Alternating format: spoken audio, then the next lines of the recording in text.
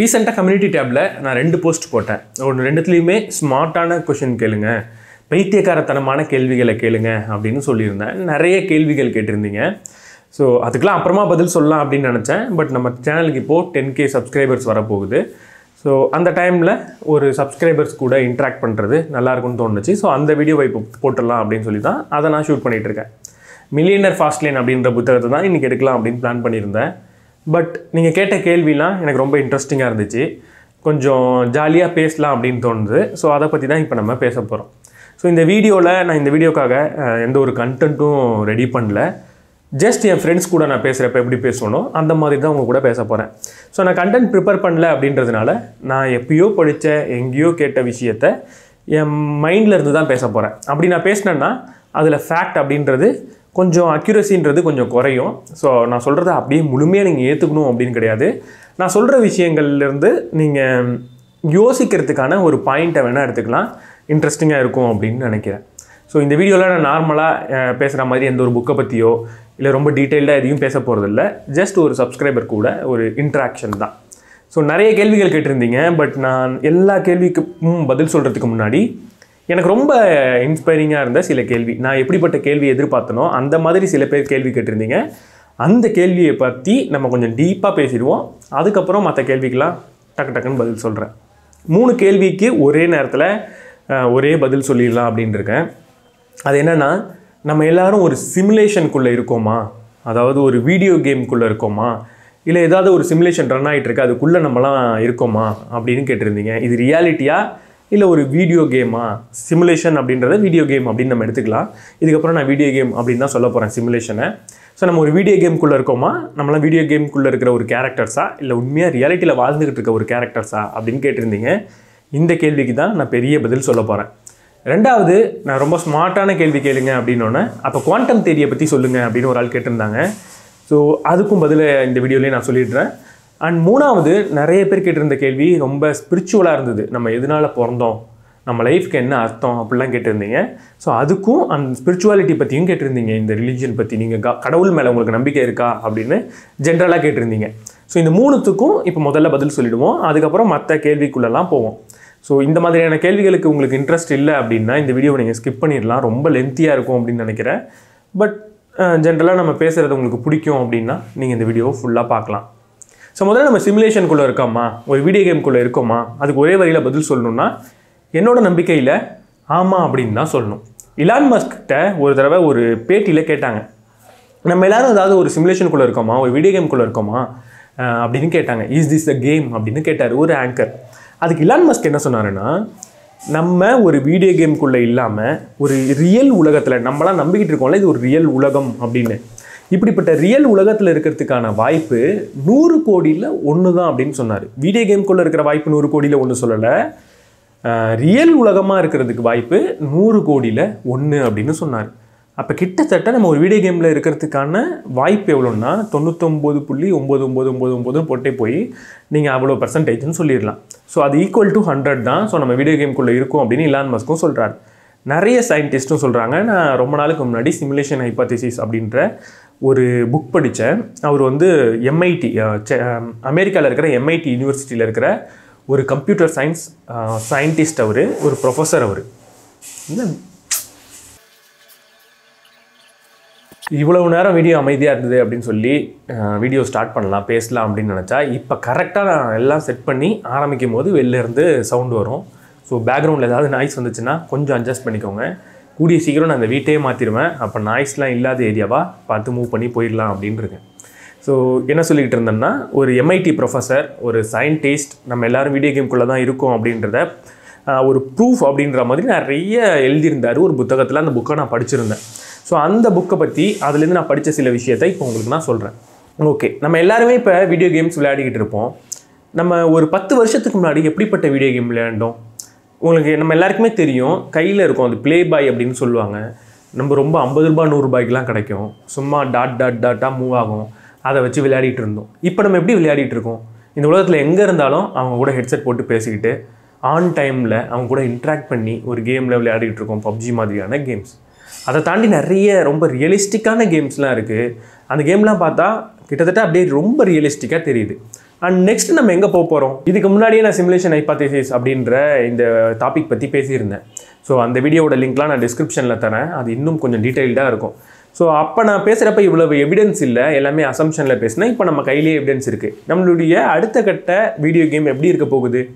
நம்ம எல்லாருமே இந்த வி விஆர் ஹெட்செட்லாம் போட்டுட்டு ஒருத்தவங்களோட ஒருத்தவங்க நேரில் பார்த்துக்கிட்டு ஒரு ரியல் உலக மாதிரியே ரெடியான ஒரு மெட்டாவர்ஸ்குள்ளே தான் விளையாட போகிறோம் மெட்டாவர்ஸ் அப்படின்ற கான்செப்ட் இப்போ வந்துருச்சு.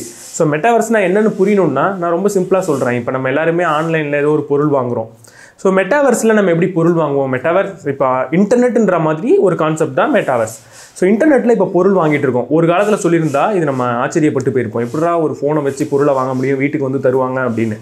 மெட்டாவர்ஸும் ஒரு ஷாப்பிங்க்கு எப்படி இருக்கும்னு நான் சொன்னேன்னா மற்ற கான்செப்ட்டுக்கெலாம் மெட்டாவர்ஸ் எப்படி இருக்குன்றதை நீங்கள் ப்ரொஜெக்ட் பண்ணி யோசித்து பார்த்துக்கலாம். ஒரு ஷாப்பிங்க்கு மெட்டாவர்ஸ் எப்படி இருக்கும்? ரொம்ப சிம்பிள் தான். இப்போ நம்ம நம்ம ஃப்ரெண்ட்ஸோட போய் எப்படி ஷாப்பிங் பண்ணுவோம்? ஃப்ரெண்ட்ஸை கூட்டிகிட்டு ஒரு கடைக்கு போவோம் போய் அங்கே பொருளை வாங்கிடுவோம். பட் மெட்டாவர்ஸ் வந்ததுக்கப்புறம் நம்ம எப்படி வாங்க போகிறோம் துபாயில் ஒரு கடை இருக்குன்னு வச்சுப்போம். அந்த கடைக்கு நீங்கள் போகணுன்னு ஆசைப்படுறீங்க. நீங்கள் சென்னையில் இருக்கீங்க. உங்களுடைய ஃப்ரெண்ட் நியூயார்க்கில் இருக்கார். ரெண்டு பேரும் சேர்ந்து நம்ம துபாயில் அந்த கடைக்கு போகலாமா நாளை காலைல அப்படின்னு பேசிக்கிறீங்க. ரெண்டு பேரும் சென்னையில் ஒருத்தர் தூங்குறீங்க ஒருத்தவர் அமெரிக்காவில் தூங்குறாரு. ரெண்டு பேரும் அடுத்த நாள் காலையில் துபாயில் இருக்கிற அந்த கடையில் பொருளை வாங்க முடியும். எப்படி? ரெண்டு பேரும் அந்த ஹெட்செட்டை போட்டிருந்தீங்கன்னா அந்த ஹெட்செட் மூலியமாக இந்த உலகத்தில் இருக்கிற எல்லா விஷயத்தையும் நீங்கள் விர்ச்சுவலாக பார்க்க முடியும். இப்போ நம்ம கூகுள் எர்த் பார்க்குறோம்ல அந்த மாதிரி நீங்கள் விர்ச்சுவலாக எல்லா விஷயத்தையுமே பார்க்க முடியும். இப்போ ஒரு கடை இருக்குன்னா அந்த கடையில் ஒரு பாட் அவங்க ஃபிக்ஸ் பண்ணியிருக்கலாம் அந்த பாட் வந்து அந்த கடை மூலியமாக உங்கள்கிட்ட இன்ட்ராக்ட் பண்ணும் அந்த விர்ச்சுவல் ரியாலிட்டியில் அப்படி இல்லைன்னா ஒரு மனுஷரே கூட ஹெட்செட் போட்டு உங்கள்கிட்ட பேசலாம். நீங்கள் ரெண்டு பேரும் அந்த ஹெட்செட்டை போட்டு எந்த இடத்துக்கு போகணுன்றத சூஸ் பண்ணிட்டீங்கன்னா அந்த இடம் உங்களுடைய ஹெட்செட்டில் லோட் ஆகிடும் நீங்கள் ரெண்டு பேரும் அந்த இடத்த விர்ச்சுவலாக பார்க்க முடியும். உங்கள் ஃப்ரெண்டும் உங்கள் கூடயே நிற்பார் ஏன்னா அதுவும் ஒரு இமேஜ் தான். ஜஸ்ட் விர்ச்சுவலாக உங்களுக்கு உருவாக போகுது. ஸோ ரெண்டு பேரும் ஒருத்தவங்களை ஒருத்தவங்க பேசிக்கலாம். பேசிக்கிட்டு அந்த கடையில் ஷாப் பண்ணலாம். என்ன பொருள் வேணும் எல்லாத்தையும் சொல்லலாம். இந்த அட்ரஸ்க்கு எனக்கு அனுப்பி வச்சு- அனுப்பி வச்சிருங்க அப்படின்னு சொல்லலாம். சொல்லிட்டு நீங்கள் ரெண்டு பேரும் ஹெட்செட்டை கழட்டிட்டீங்கன்னா அவங்க சொன்ன அதே டைமுக்கு உங்கள் வீட்டுக்கு வந்துடும் ஸோ கிட்டத்தட்ட நீங்கள் துபாய்க்கு போய் அந்த பொருளை ஆர்டர் பண்ணிவிட்டு வீட்டுக்கு வந்ததுக்கு இது சமம் தான் இது ஷாப்பிங்க்கு மட்டும் கிடையாது. வீடியோ கேம்ஸாக இருக்கட்டும் எல்லாமே இந்த மாதிரி மெட்டாவர்ஸில் வரப்போகுது. ஸோ இதெல்லாம் பார்க்குறப்ப நமக்கு ஒரு விஷயம் நல்லா தெரியும். நம்மளுடைய வீடியோ கேம் அப்படின்றது எதை நோக்கி போயிட்டுருக்கு? ரொம்ப ரொம்ப சிம்பிள் ரொம்ப ரியலிஸ்டிக்காக இருக்கணும் அப்படின்ற விஷயத்தை நோக்கி தான் போயிட்டுருக்கு. ஸோ முதல்ல ஜஸ்ட் பிளாக் டாட் டாட்டாக வந்துட்டு இருந்தது. அதுக்கப்புறம் கொஞ்சம் ரியலிஸ்டிக் அனிமேஷன் வந்துச்சு கிராஃபிக்ஸ் வந்துச்சு. இந்த ஃபோட்டோகிராஃபி கேமரா வச்சு ஆக்சுவலாக ஷூட் பண்ணி அதை கிராஃபிக்ஸாக கன்வெர்ட் பண்ணி பார்க்குறதுக்கு ரொம்ப ரியலிஸ்டிக்காக கொடுத்தாங்க. அப்புறம் விஆர் போட்டுக்கிட்டு நம்ம மூவ் பண்ணி கேம் விளையாடுற மாதிரி வந்துச்சு. இப்போ மெட்டாவர்ஸ் வரப்போகுது. ஸோ ஜஸ்ட் ஒரு பவர்ஃபுல்லான கம்ப்யூட்டர் தான் நமக்கு தேவை. அந்த பவர்ஃபுல்லான கம்ப்யூட்டர் வந்துருச்சுன்னா ஒரு பெரிய உலகத்தையே நம்மளால் உருவாக்கி அதுக்குள்ளே இருக்கிற மனிதர்களை அதுக்குள்ளே நம்மளால் என்பிசி நான் பிளேயிங் கேரக்டர்ஸ் அப்படின்னு சொல்லுவாங்க. ஜிடிஏ விளையாடி இருந்தீங்கன்னா அதில் நிறைய நான் பிளேயிங் கேரக்டர்ஸ் சுற்றி சுற்றி உங்களை சுற்றி வரும். ஸோ நீங்கள் போய் அடிச்சிங்கன்னா திரும்ப அடிக்கும். நீங்கள் ஏதாவது கன் எடுத்தீங்கன்னா சில பேர் பயந்து ஓடுவாங்க. இந்த மாதிரியான கேரக்டர்ஸ் நான் பிளேயிங் கேரக்டர்ஸ் எல்லா கேம்லேயும் இருக்கும். ஸோ நம்ம ஒரு ரியலிஸ்டிக்கான கேமை உருவாக்கணும் அப்படின்ற முயற்சியில் இருந்தோன்னா இந்த நான் பிளேயிங் கேரக்டர்ஸ் எல்லாத்துக்கும் ஒரு உண்மையான உணர்வை கொடுத்து அவங்க எல்லாரையுமே ஒரு உண்மையான மனிதர்கள் அப்படின்னு உணர வச்சுட்டோன்னா அவங்க எல்லாருமே நம்மள்ட்ட இன்ட்ராக்ட் பண்ணுறப்ப ஒரு உண்மையான மனிதனாக இன்ட்ராக்ட் பண்ணுவாங்க. ஸோ அதை பார்க்குறதுக்கு நமக்கு அந்த அந்த உலகம் அப்படின்றது ரொம்ப ரியலிஸ்டிக்காக அதுக்கப்புறம் ஆகிடும் ஸோ இப்படிப்பட்ட ஒரு சிமுலேஷனை நம்மளால் உருவாக்குறதுக்கு நமக்கு என்ன தேவை? ஒரு ஹை ஸ்பீட் கம்ப்யூட்டர் தான் தேவை. ஸோ கம்ப்யூட்டரோட வளர்ச்சி எடுத்து பார்த்தீங்கன்னா லாஸ்ட் ஒரு நூறு வருஷத்தில் எவ்வளோ பெரிய வளர்ச்சி அது கொடுத்துருக்குன்னு பார்த்தீங்கன்னா அதே அளவு வளர்ச்சியை கொடுத்தாலே போகிறோம் இவ்வளோ பெரிய உலகத்தை உருவாக்கக்கூடிய ஒரு பவர்ஃபுல்லான கம்ப்யூட்டரை நம்மளால் உருவாக்க முடியும். குவாண்டம் கம்ப்யூட்டர்ஸாக இருக்கட்டும். இந்த மாதிரி நிறைய கம்ப்யூட்டர்ஸ் வந்ததுன்னா நம்மளால் ஒரு ரியலிஸ்டிக் சிமுலேஷனை உருவாக்க முடியும். பட் இங்கே உங்களுக்கு ஒரே ஒரு கேள்வி தான் வரும். ஓகே எவ்வளோ பவர்ஃபுல்லாக இருந்தாலும் எவ்வளவு சிமுலேஷனை வேணால் உருவாக்கலாம். ஆனால் ஒரு நான் பிளேயிங் கேரக்டரை ஒரு வீடியோ கேமில் இருக்கிற ஒரு கேரக்டரை எப்படி ஒரு உண்மையான மனிதனாக உணர வைக்கிறது? அவன் எப்படி தன்னை ஒரு மனுஷன் அப்படின்னு நம்பிக்கிட்டு இருப்பான்? அதுக்கு இப்போ பதிலாக பார்ப்போம். அதுக்கு நம்மளுடைய மூளை எப்படி ஒர்க் ஆகுது அப்படின்றத நம்ம தெரிஞ்சுக்கிட்டோன்னா ரொம்ப சுலபமாக இதை நம்மளால் புரிஞ்சிக்க முடியும். ஸோ நம்மளுடைய மூளை எப்படி ஒர்க் ஆகுது? இப்போ என் வீடியோவை நீங்கள் பார்த்துக்கிட்டு இருக்கீங்க. எப்படி பார்க்குறீங்க? ஜஸ்ட் உங்களுடைய கண்ணு தான் இதை பார்க்கும். உங்களுடைய காது வழியாக தான் இந்த ஆடியோஸ்லாம் வரும். பட் இது எல்லாத்தையுமே நீங்கள் புரிஞ்சுக்கிறது எதை வச்சு புரிஞ்சுக்கிறீங்க? இது இங்கே இப்படி நடக்குது அப்படின்றத எப்படி புரிஞ்சுக்கிறீங்க? எல்லாமே உங்களுடைய சென்சார்கள் உங்கள் மூளைக்கு கொடுக்கக்கூடிய எலக்ட்ரிக்கல் பல்ஸாக இருக்கட்டும். அதை பார்க்கும்போது உங்கள் மூளையில் சுரக்கக்கூடிய கெமிக்கல்ஸாக இருக்கட்டும் இது எல்லாம் சேர்ந்து தான் இப்படிப்பட்ட ஒரு விஷயம் நடக்குதுன்றத உங்களுக்கு புரிய வச்சுக்கிட்டு இருக்கு. ஸோ உங்களுக்கு இப்போ என்னை பார்த்து கோவம் வந்ததுன்னா அதுக்கு ஒரு டைப் ஆஃப் கெமிக்கல் சுரக்கணும். ஒருவேளை சிரிப்பு வந்ததுன்னா அதுக்கு ஒரு டைப் ஆஃப் கெமிக்கல் சுரக்கணும். ஸோ எல்லாமே உங்கள் மூளையில் நடக்கிற electrical pulse and chemical reaction தான். ஸோ ஒரு வேளை இப்போ நான் உட்காந்து உங்களுக்கு முன்னாடி பேசவே இல்லை. ஆனால் நான் பேசினா எப்படிப்பட்ட கெமிக்கல்ஸும் எப்படிப்பட்ட எலக்ட்ரிக்கல் பல்ஸும் உங்கள் மூளைக்கு போகுமோ அதே விஷயத்தை என்னால் நான் இல்லாமலே உங்கள் மூளைக்கு கொடுக்க முடிஞ்சதுன்னா கண்டிப்பாக நான் பேசாமலே நான் பேசிகிட்டு இருக்கேன் அப்படின்றத நீங்கள் நம்புவீங்க. ஸோ மூளைன்றது ஒரு சாதாரண விஷயம் தான் அதுக்குள்ளே நடக்கிற சில எலக்ட்ரிக்கல் பல்ஸ் சில கெமிக்கல் ரியாக்ஷன் இன்னும் சில விஷயங்கள் அதுக்குள்ளே இருக்கிற ஆல்ரெடி இருக்கிற மெமரிஸ் இதெல்லாம் சேர்ந்து தான் வெளியில் இப்படி ஒன்று நடக்குதுன்றதை நமக்கு காட்டுது. ஸோ இது எல்லாத்தையும் ஆர்டிஃபிஷியலாக என்னால் ஒரு ஒரு மூளைக்குள்ளே உருவாக்க முடிஞ்சதுன்னா வெளியே ஒரு விஷயம் நடக்காமலே நடந்தது நடக்குது அப்படின்னு சொல்ல முடியும். ஸோ மெமரிஸும் ஒன்றும் பெரிய விஷயம் கிடையாது. நம்ம மூளையில் இருக்கிற சில ஃபிசிக்கல் டிஃபார்மேஷன் தான் மெமரிஸாக இருக்குது சில நியூரல் கனெக்ஷன் தான் மெமரிஸாக இருக்குது ஸோ அடுத்து நம்ம தெரிஞ்சுக்க வேண்டிய ஒரு கான்செப்ட் இருக்குது அது என்னென்னா டிஜிட்டல் கான்ஷியஸ்னஸ் அப்படின்னு சொல்லுவாங்க. ஸோ டிஜிட்டல் கான்ஷியஸ்னஸ்னால் என்ன? இப்போ நீங்கள் நீங்கள் தான் அப்படின்றத எப்படி உணர்றீங்க? உங்களுடைய கான்ஷியஸ்னஸ் அப்படின்றது என்ன? நம்ம மூளைக்குள்ளே நடக்கிற அதே அல்டிக்கல் பல்ஸ் அதே கெமிக்கல் ரியாக்ஷன் அதே மெமரிஸ் தான் நம்முடைய கான்சியஸ்னஸாக இருக்குது நான் என்னோட ஹார்ட் டிரான்ஸ்பிளான்ட் பண்ணிக்கலாம் நான் வந்து கிட்னி டிரான்ஸ்பிளான்ட் பண்ணிக்கலாம் எதை வேணாலும் டிரான்ஸ்பிளான்ட் பண்ணிக்கலாம். ஆனால் மூளையை மட்டும் டிரான்ஸ்பிளான்ட் பண்ணேன்னா நான் நானாக இருக்க மாட்டேன் யாரோட மூளை எனக்குள்ளே வந்துச்சோ அவராக ஆகிடுவேன் ஸோ நம்மளுடைய மூளை தான் நம்ம யாருன்றதை சொல்லுது நம்ம உயிரோட இருக்கோன்றதை நமக்கு சொல்லுது நமக்கு ஒரு கான்சியஸ்னஸை கொடுக்குது. ஸோ டிஜிட்டல் கான்சியஸ்னஸ்னால் என்ன? நம்ம மூளையில் இருக்கிற மெமரிஸ் எல்லாத்தையுமே ஒரு ஹார்ட் நியூரல் கனெக்ஷன் எல்லாத்தையுமே ஒரு டேட்டாவாக ஒரு ஹார்ட் டிஸ்க்குள்ளே நம்ம மூவ் பண்ணுறோம் அப்படின்னு வச்சுப்போம். அதை அதை எப்படி நம்ம மூளை ப்ராசஸ் பண்ணுது அப்படின்ற அந்த ஃபார்முலாவை ஒரு ப்ரோக்ராமாக லோட் பண்ணுறோம் அப்படின்னு வச்சுப்போம். இப்போ அந்த ஹார்ட் டிஸ்க்கை உங்களை மாதிரியே இருக்கிற ஒரு ரோபோட்குள்ளே லோட் பண்ணி அந்த ப்ரோக்ராமையும் ரோல் லோட் பண்ணி அந்த ப்ரோக்ராமை ரன் பண்ண வச்சேன் அப்படின்னா அந்த ரோபோட் அப்படின்றது தன்னை ஒரு மனுஷனாக உணரும். நீங்கள் எப்படி உங்களை உணர்றீங்களோ அதே மாதிரி அது அதை உணரும். ஸோ அதால் நீங்கள் தான் அது அப்படின்னு நினச்சிக்கிட்டு இருக்கோம் அது. அதால் நீங்கள் இல்லை அது அப்படின்னு நம்பவே முடியாது. புரியும்னு நினைக்கிறேன். இப்போ என்ன என்னோட டிஜிட்டல் கான்சியஸ்னஸை ஒரு ரோபோட்டில் லோட் பண்ணிட்டேன்னா அதுதான் கிருஷ்ணா அப்படின்னு நம்பிக்கிட்டு இருக்கும். நான் அதுகிட்ட போய் நீ ஒரு ரோபோட் அப்படின்னு சொன்னால் அது நம்பாது. ஏன்னா அதோட மூளை அதுகிட்ட அதை தான் சொல்லிக்கிட்டு இருக்கும். ஸோ இப்படி தான் ஒரு டிஜிட்டல் கான்சியஸ்னஸை நம்மளால் உருவாக்க முடியும் அப்படின்னு சொல்கிறாங்க இதுக்கு நிறைய ஆராய்ச்சியும் போனது. ஸோ நிறைய பேர் இது வந்து டிஜிட்டல் இம்மார்டலிட்டிக்கு பயன்படுத்த முடியும் அப்படின்னு சொல்கிறாங்க நம்மளுடைய டேட்டா எல்லாத்தையும் சர்வரில் லோட் பண்ணிவிட்டு நம்ம இறந்து போனாலும் அந்த டேட்டாவை ஒரு ரோபோட்குள்ளே லோட் பண்ணி நம்மளை கடைசி வரைக்கும் வாழ வச்சுக்கிட்டே இருக்க முடியும் அப்படின்னு சொல்கிறாங்க இதுக்கு நிறைய ரஷ்யன் கம்பெனிஸ் இதுக்கான ப்ராஜெக்ட் பண்ணுறாங்க அப்படின்னு கேள்விப்பட்டேன். அண்ட் ஒரு எலியோட மூலையை கூட அவங்க ஆல்ரெடி ஸ்கேன் பண்ணி ஒரு ஹார்ட் டிஸ்கில் லோட் பண்ணியிருக்காங்க அப்படின்னும் கேள்விப்பட்டேன். ஸோ ஒரு ரேட்டோட மூலியை வந்து ஸ்கேன் பண்ணி ஸ்டோர் பண்ண முடியுதுன்னா ஒரு மனுஷனோடதையும் கட்டாயம் பண்ண முடியும். அதுக்கு நமக்கு தேவையானது ஒரு பெரிய ஹார்ட் டிஸ்க் ஒரு பவர்ஃபுல் கம்ப்யூட்டர் இது எதிர்காலத்தில் கட்டாயம் நமக்கு கிடைக்க தான் போகுது. இப்போ நம்ம என்ன தெரிஞ்சுக்கிட்டோம்?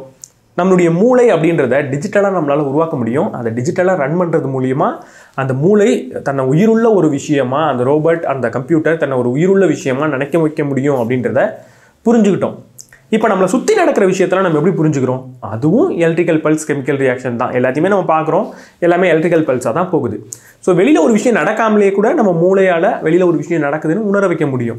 இதனால தான் நிறைய ட்ரக்ஸ்லாம் ட்ரக் யூசர்ஸ்லாம் உண்மையாகவே வெளியில் நடக்காத விஷயங்கள்லாம் நடக்குது அப்படின்னு நினச்சிக்கிட்டு இருப்பாங்க. நான் கடவுளை பார்த்தேன் அதை பார்த்தேன் இதை பார்த்தேன்லாம் சொல்லிக்கிட்டு இருப்பாங்க. அதுக்கு உண்மையான காரணம் அவங்க மூளையில் வெளியே நடக்காத ஒரு விஷயம் எலக்ட்ரிக்கல் பல்ஸ்னாலேயோ இந்த அவங்க மூளையில் இருக்கிற ஒரு கெமிக்கல் ரியாக்ஷன்னால நடக்குதுன்னு தான். ஸோ இப்போ நம்ம மூளையை டிஜிட்டலாக உருவாக்கிட்டோம்னா அதுக்குள்ளே இன்னொரு ஒரு ப்ரோக்ராமை சைடில் லோட் பண்ணி இந்த உலகம் மாதிரியே ஒரு விஷயத்த அந்த மூளைக்குள்ளே அடிக்கடி பல்ஸாக கொடுத்து அதை வச்சு அந்த மூளையை நம்ம ரன் பண்ணிக்கிட்டு இருந்தோம் அப்படின்னா வெளியே நடக்காத விஷயத்த கூட அந்த மூளைக்குள்ளே நம்ம நடத்தி காட்ட முடியும்.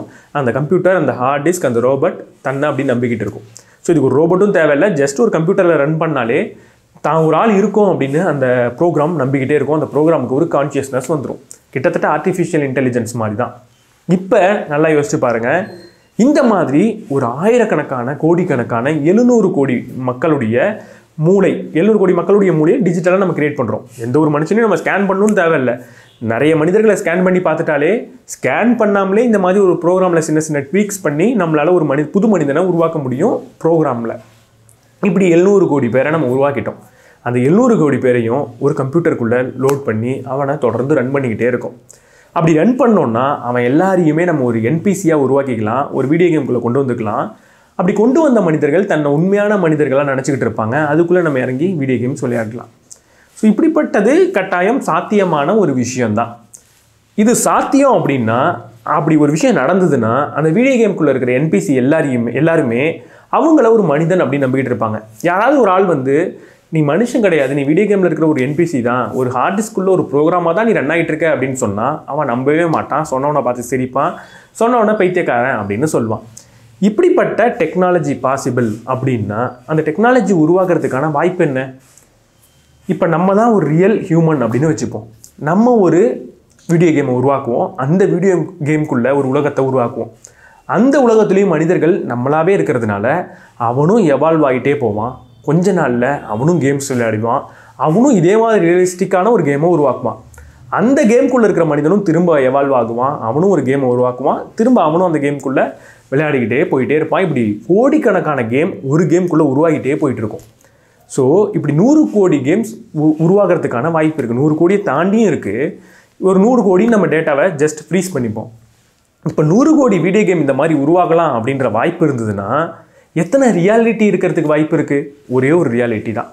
அதனால தான் இலான் மஸ்க் சொல்கிறாரு நம்ம ரியாலிட்டியாக இருக்கிறதுக்கான வாய்ப்பு நூறு கோடியில் ஒன்று தான் மீதி எல்லாமே வீடியோ கேமாக இருக்கிறதுக்கான வாய்ப்பு இருக்குது அப்படின்னு சொல்கிறாரு ஸோ இப்படிப்பட்ட வீடியோ கேமில் இருக்கிற ஒரு மனிதன் தன்னை மனிதன் தான் அப்படின்னு நம்பிட்டு இருக்கான். அவன் ஒரு ப்ரோக்ராம் நம்பலன்னா இப்போ நம்ம எல்லாரும் நம்மளை மனிதன் தான் ப்ரோக்ராம் இல்லைன்னு சொல்லிகிட்டு இருக்கோம்னா நம்ம அப்படிப்பட்ட ப்ரோக்ராமாக இருக்கிறதுக்கான வாய்ப்பு எவ்வளவு இருக்குது வாய்ப்பு அப்படின்றது கட்டாயம் இருக்குது சம்ப நம்ம ஒரு வீடியோ கேம்குள்ளே இருக்கோம் அப்படின்னு நிறைய பேர் இந்த வாதத்தை தான் வைக்கிறாங்க.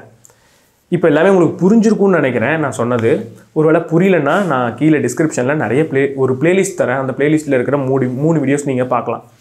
ஸோ இப்போ வீடியோ கேம்குள்ளே தான் நம்ம இருக்கோம் அப்படின்றதுக்கு ஏதாவது ப்ரூஃப் வேணுமே. சும்மா இது வாய்ப்பு இருக்குன்றதுக்காக வாய்ப்பு இருக்குன்னு நம்ம எடுத்துக்க முடியாது.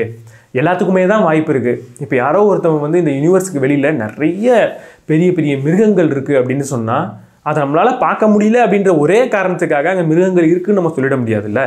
அதே மாதிரி இப்போ இந்த வீடியோ கேம்குள்ளே தான் நம்ம இருக்கோன்றதுக்கான வாய்ப்பு என்ன இருக்குது இதுக்கான பதிலை பார்க்கறதுக்கு முன்னாடி அடுத்த கேள்விக்கான பதிலை பார்ப்போம்.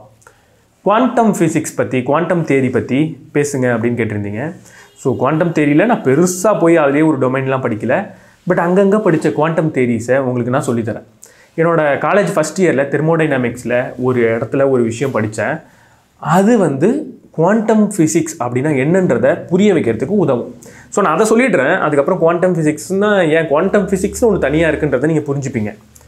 ஸோ இப்போ ஒரு விஷயத்தை எடுத்துப்போம். ஒரு ஒரு கிலோ இரும்பு ராட் அப்படின்னு வச்சுப்போம். ஒரு கிலோ இரும்பு ராடு இருக்குது அந்த ஒரு கிலோ இரும்பு ராடை நான் கரெக்டாக பாதியாக கட் பண்ணுறேன் பாதியாக கட் பண்ணால் என்கிட்ட ரெண்டு இரும்பு ராடு இப்போ கைக்கு வந்துடும் ஒரு கிலோ இரும்பு ராடை கரெக்டாக பாதியாக கட் பண்ணால் இந்த கையில் இருக்கிற இரும்பு ராட் இந்த கையில் இருக்கிற இரும்பு ராட்.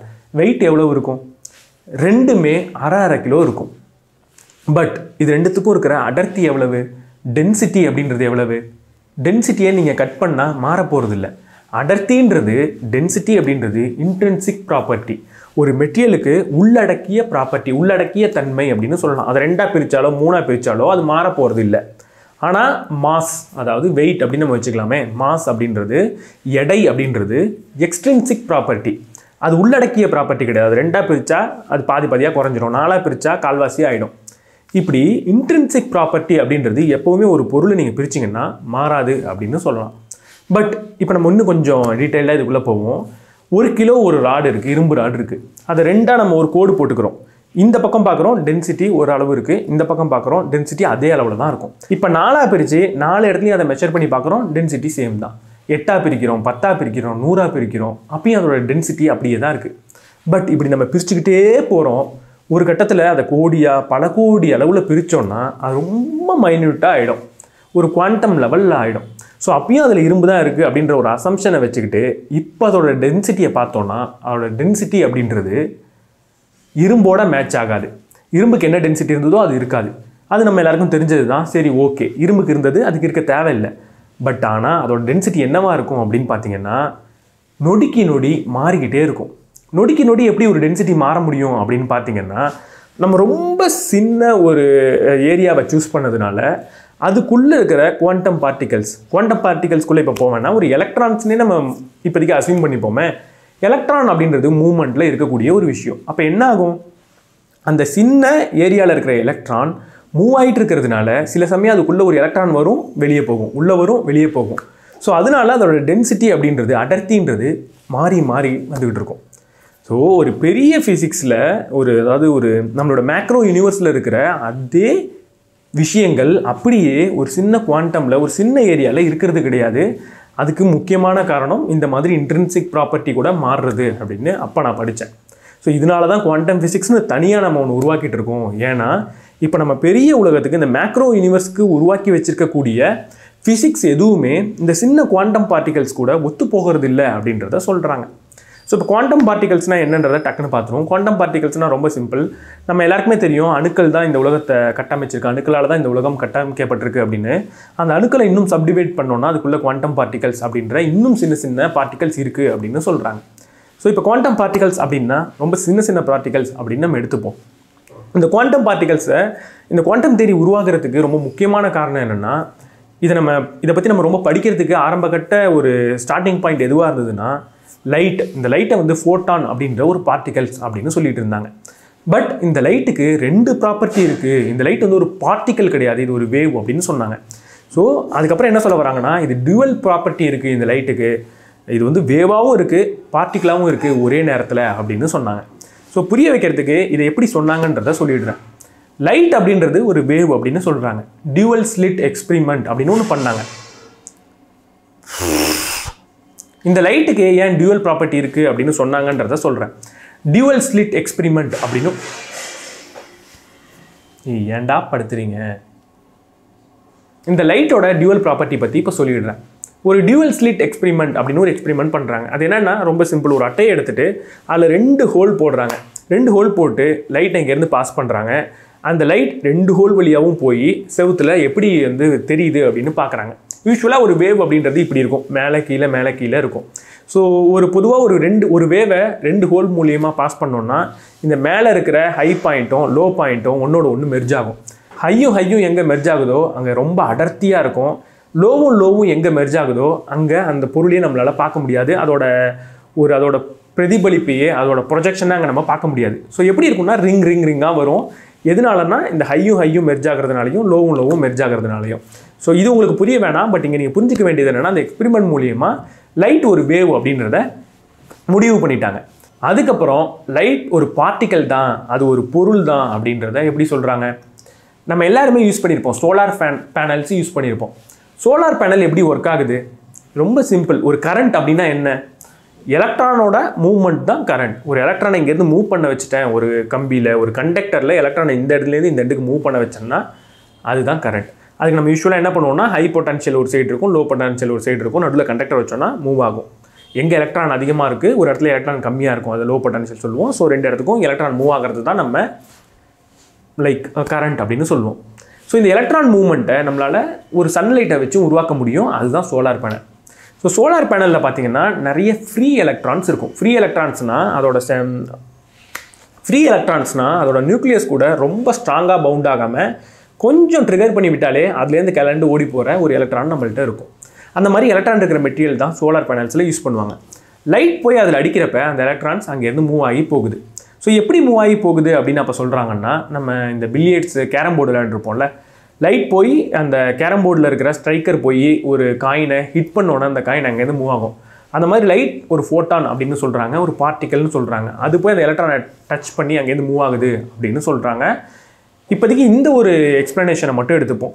லைட்லேருந்து ஒரு எனர்ஜி அப்சர்வ் பண்ணி எலக்ட்ரான் ஹை எனர்ஜி ஸ்டேட்டுக்கு போய் அங்கேருந்து மூவ் ஆகுதுன்ற இன்னொரு எக்ஸ்ப்ளனேஷன் இருக்குது அது நம்ம போக வேணாம். ஏன்னா நம்ம இப்போ ப்ரா ஃபிசிக்கல் ப்ராப்பர்ட்டி அதாவது பார்ட்டிக்கல் அப்படின்ற அந்த ப்ராப்பர்ட்டியை தான் பார்க்க போகிறோம் ஸோ அதுக்கு இந்த எக்ஸ்ப்ளனேஷன் போகிறோம் இப்போ லைட்டுக்கு டியூவல் ப்ராப்பர்ட்டி இருக்குது அப்படின்றத சொல்கிறாங்க அது வேவாகவும் இருக்குது அதுக்கப்புறம் அது வந்து ஒரு பார்ட்டிக்கலாகவும் இருக்குது அப்படின்னு சொல்கிறாங்க லைட் மட்டும்தான் இப்படி இருக்கா அப்படின்னு பார்த்தா அதுக்கப்புறம் தான் பிளாங்க்ஸ் அப்படின்றவர் ஒன்று சொல்கிறாரு பிளாங்க் வேவ் லென்த் அப்படின்னு அவர் ஒன்று சொல்கிறாரு அந்த பிளாங்க் வேவ் லென்த் அப்படின்னா என்னென்னா இந்த உலகத்தில் இருக்கிற எல்லா பொருட்களுக்குமே ஒரு வேவ் லென்த் இருக்குது அது வேவாகவும் ஆக்ட் பண்ணுது அப்படின்னு சொல்கிறாரு பட் ஆனால் அந்த வேவ் லென்த்ன்றது ரொம்ப ரொம்ப ரொம்ப ரொம்ப சின்னது. அதனால தான் நம்மளாம் ஒரு வேவாக இருக்கிறது இல்லை. அதனால தான் நம்மளாம் இங்கேருந்து பூந்து செவுத்துல பூந்தோ ஒரு சின்ன கேப்பில் பூந்தோ அந்தாண்ட போக முடியல. ஏன்னா நம்மளோட வேவ் லென்த் அந்த ரொம்ப அது பெருசாக இருக்கா சின்னதாக இருக்கான்னு எனக்கு தெரியல. ஜஸ்ட் அதை நீங்கள் வெரிஃபை பண்ணிக்கோங்க. பட் லைட் பார்ட்டிகல் அப்படின்றது ரொம்ப எடை கம்மியாக இருக்கிறதுனால ஆல்மோஸ்ட் அதுக்கு எடையே இல்லை அப்படின்றதுனால அதோட வேவ் லென்த் ஒரு வேவ் மாதிரியே நமக்கு ப்ராப்பர்ட்டியை கொடுக்குது. வேவ் மாதிரியே நமக்கு செயல்படுது அப்படின்னு சொல்கிறாங்க இதுக்கப்புறம் இந்த எலக்ட்ரானிக்ஸ்க்கும் பண்ணி பார்த்தாங்க இந்த டபுள் ஸ்லிட் எக்ஸ்பெரிமெண்ட்டை எலக்ட்ரானும் வேவாக ஒபே பண்ணியிருக்கு அப்படின்ற ப்ரூஃபும் இருக்குது ஸோ எல்லா பொருளுக்கும் வேவ் நேச்சரும் இருக்குது பார்ட்டிக்கல் நேச்சரும் இருக்குன்றதை நம்ம புரிஞ்சுக்கணும். ஆனால் அது குவாண்டம் சைஸில் இருக்கிறப்ப இது ரெண்டு நேச்சரையும் அது எடுத்துக்குது அப்படின்றத இப்போ நீங்கள் புரிஞ்சுக்கோங்க. ஸோ முதல்ல சொன்னது குவாண்டம் ஃபிசிக்ஸ் ஏன் தனியாக இருக்குது அப்படின்றது. இதுதான் அதுக்கு ரொம்ப முக்கியமான காரணம். ஏன்னா ரொம்ப சைஸ் சின்னதாக போகிறப்ப அது வேவாக அது பார்ட்டிக்கலானே நமக்கு தெரியல. நம்ம ஒரு பொருள் அப்படின்னு சொல்லி பார்க்குறோம் ஆனால் அது ஒரு வேவாக கூட இருக்கலாம். அது ஆக்சுவலாக வேவாகவும் இருக்குது அப்படின்றத நீங்கள் புரிஞ்சுக்கணும். ஸோ இதுக்கப்புறம் நான் ரெண்டு விஷயத்த சொல்ல போகிறேன் குவாண்டம் ஃபிசிக்ஸோட ரொம்ப அடிப்படையான ரெண்டு விஷயம். ஒன்று குவாண்டம் இன்டிட்டர்மினன்சி அப்படின்னு சொல்லலாம். ஸோ குவாண்டம் இன்டிட்டர்மினன்சியை சொல்கிறதுக்கு முன்னாடி ஹைசன்பர்க் அன்சர்டனிட்டி பிரின்சிபல் அப்படின்னு ஒன்று இருக்குது அதை நான் சொல்லிடுறேன். ஹைசன்பர்க் அன்சர்டனிட்டி பிரின்சிபல் என்ன சொல்லுதுன்னா ஒரு குவாண்டம் பார்ட்டிகல்ஸ் இருக்குன்னு வச்சுப்போமே அந்த பார்ட்டிகளுடைய பொசிஷனையும் அது எங்கே இருக்குன்ற அதோட நிலையையும் அதோட வெலாசிட்டியையும் ஒரே நேரத்தில் உங்களால் மெஷர் பண்ண முடியாது அப்படின்னு சொல்லுது. ஏன் பண்ண முடியாது? ரொம்ப சிம்பிள் தான். ஒரு பொருளை நீங்கள் பார்க்கணும் அப்படின்னா எப்படி எப்படி பார்ப்பீங்க? அதில் ஒரு லைட்டை அடித்து அந்த லைட் மூலயமா தான் பார்க்கணும். பட் ஆனால் குவாண்டம் லெவலில் இருக்கிற பார்ட்டிகள் மேலே லைட் அடிச்சிங்கன்னா அதனால் அதோட நிலை மாறிடுது. ஸோ ஒரு அப்சர்வரால் அப்சர்வரால் ஒரு செகண்டில் ஒரு குவாண்டம் பார்ட்டிகளோட ஒரு ப்ராப்பர்ட்டியை தான் மெஷர் பண்ண முடியும். அது எங்கே இருக்குன்னு பார்த்துட்டோம்னா அதை பார்த்த உடனே அது வேற ஒரு இடத்துக்கு மூவ் ஆகிடும் இல்லை அதோட வேகம் மாறிடலாம். ஸோ வேகத்தை நம்மளால் மெஷர் பண்ண முடியாது. வேகத்தை மெஷர் பண்ணுறதுக்காக அதை நம்ம பார்த்தோம்னா அது எங்கே இருந்ததுன்றதை நம்மளால் கண்டுபிடிக்க முடியாது அப்படின்றது தான் ஐசன்பர்க் அன்சர்டனிட்டி பிரின்சிபல் சொல்லுது. இதுக்கடுத்து நம்ம ஸ்க்ரோடிஞ்சர் கேட் எக்ஸ்பிரிமெண்ட் அப்படின்றத ஒன்றத்தை பற்றி பார்ப்போம் ஸ்க்ரோடிஞ்சர் கேட் எக்ஸ்பிரிமெண்ட் என்ன சொல்லுதுன்னா ஒரு பாக்ஸ் இருக்குது அந்த பாக்ஸ்க்குள்ளே ஒரு பாம் வச்சுட்டீங்க. அந்த பாம் வெடிக்கிறதுக்கான வாய்ப்பு ஐம்பது சதவீதம் வெடிக்காமல் இருக்கிறதுக்கான வாய்ப்பு ஐம்பது சதவீதம். ஒரு நிமிஷம் கழித்து வெடிக்கும். வெடிக்கலாம் வெடிக்காமலையும் போகலாம் அதுக்குள்ளே ஒரு பூனையை போட்டு மூடிடுறீங்க. இப்போ ஒரு நிமிஷம் கழித்து பாக்ஸை நீங்கள் திறக்கணும். திறக்கிறதுக்கு முன்னாடி அந்த பூனை செத்துருக்குமா உயிரோட இருக்குமான்னு கேட்டால் என்ன சொல்லுவீங்க? அந்த பூனை ஒன்று செத்துருக்கலாம் இல்லை சாகாமல் இருக்கலாம். ரெண்டுத்துக்கும் ஐம்பது ஐம்பது சதவீதம் வாய்ப்பு இருக்குதுன்னு சொல்வீங்க. ஆனால் ஸ்க்ரோடிஞ்சர் என்ன சொல்கிறாருன்னா நீங்கள் அந்த பாக்ஸை திறக்கிறதுக்கு முன்னாடி வரைக்கும் அந்த பூனை செத்தும் இருக்கும் உயிரோடையும் இருக்கும். நீங்கள் அந்த பாக்ஸை திறந்ததுக்கப்புறம் தான் அந்த பூனை ஒன்று செத்துருக்கும் இல்லை உயிரோடு இருக்கும் அப்படின்னு சொல்கிறார் இதை புரியவே இல்லை உங்களுக்குன்றது எனக்கு தெரியும். ஒருவேளை குவாண்டம் ஃபிசிக்ஸ் தெரியலனா இது புரிஞ்சுக்கிறதுக்கே ரொம்ப ஒரு என்னடா எப்படா ஒரு பூனை செத்தும் இருக்கும் உயிரோட இருக்கும் அப்படின்னு தோணும். ஆனால் இது குவாண்டம் பார்ட்டிகல்ஸ்க்கு ரொம்ப ஈஸியாக இருக்கும். இந்த கான்செப்ட்னால தான் குவாண்டம் இன்டிட்டர்மினன்சி அப்படின்னு ஒன்று வருது. ஸோ இந்த ஸ்க்ரோடிஞ்சர் கேட் பிரின்சிபல் உங்களுக்கு புரியலனாலும் இப்போ நான் சொல்ல போகிறது மூலியமாக நீங்கள் ஸ்க்ரோடிஞ்சர் கேட் பிரின்சிபலையே புரிஞ்சிக்க முடியும். ஸோ நான் இப்போ சொல்கிறேன் குவாண்டம் இன்டிட்டர்மினன்சினா என்னன்றதை புரிய வைக்கிறதுக்கு நான் ஒரு வேறு ஒரு எக்ஸ்பிரிமெண்ட் சொல்கிறேன் இப்போது ஒரு தேட்டர் இருக்குது அந்த தேட்டருக்குள்ளே நீங்களும் உங்கள் ஃப்ரெண்டும் போகலாம் அப்படின்னு பார்க்குறீங்க அதுக்கப்புறம் நீங்கள் ஒரு கேம் விளையாடலான்ற ஒரு முடிவு எடுக்கிறீங்க. அந்த தேட்டருக்குள்ளே ஒரு ஆயிரம் சீட் இருக்குது நீங்கள் என்ன சொல்கிறீங்க உங்கள் ஃப்ரெண்டு அந்த தேட்டருக்குள்ளே போய் உட்கார சொல்கிறீங்க ஏதாவது ஒரு சீட்டில் உட்காந்துக்கோ. நான் கண்ணை மூடிட்டு உள்ளே வருவேன். இல்லைன்னா கண்ணை மூடிட்டு வர வேணாம். தேட்டரே இருட்டாக இருக்குது நான் நேராக உள்ளே வந்து டார்ச் லைட் எடுத்து ஒரு சீட்டில் அடிப்பேன். அந்த சீட்டில் நீ உட்காந்துருந்தன்னா எனக்கு நீ காசு தரணும் அப்படின்னு சொல்கிறீங்க ஆயிரம் சீட்டில் எந் ஒரு சீட்டில் தான் நீங்கள் லைட் அடிக்க போகிறீங்க கரெக்டாக அதில் அவர் உட்காந்துருந்தா தான் உங்களுக்கு அவர் காசு தர போகிறார் முதல்ல அவரை உள்ளே அனுப்பிச்சி விட்றீங்க. உள்ளே போயிட்டு நூற்றி நாற்பத்தி ஏழில் லைட் அடிக்கிறீங்க. உட்காந்துருக்கார் திரும்ப வெளில வரீங்க.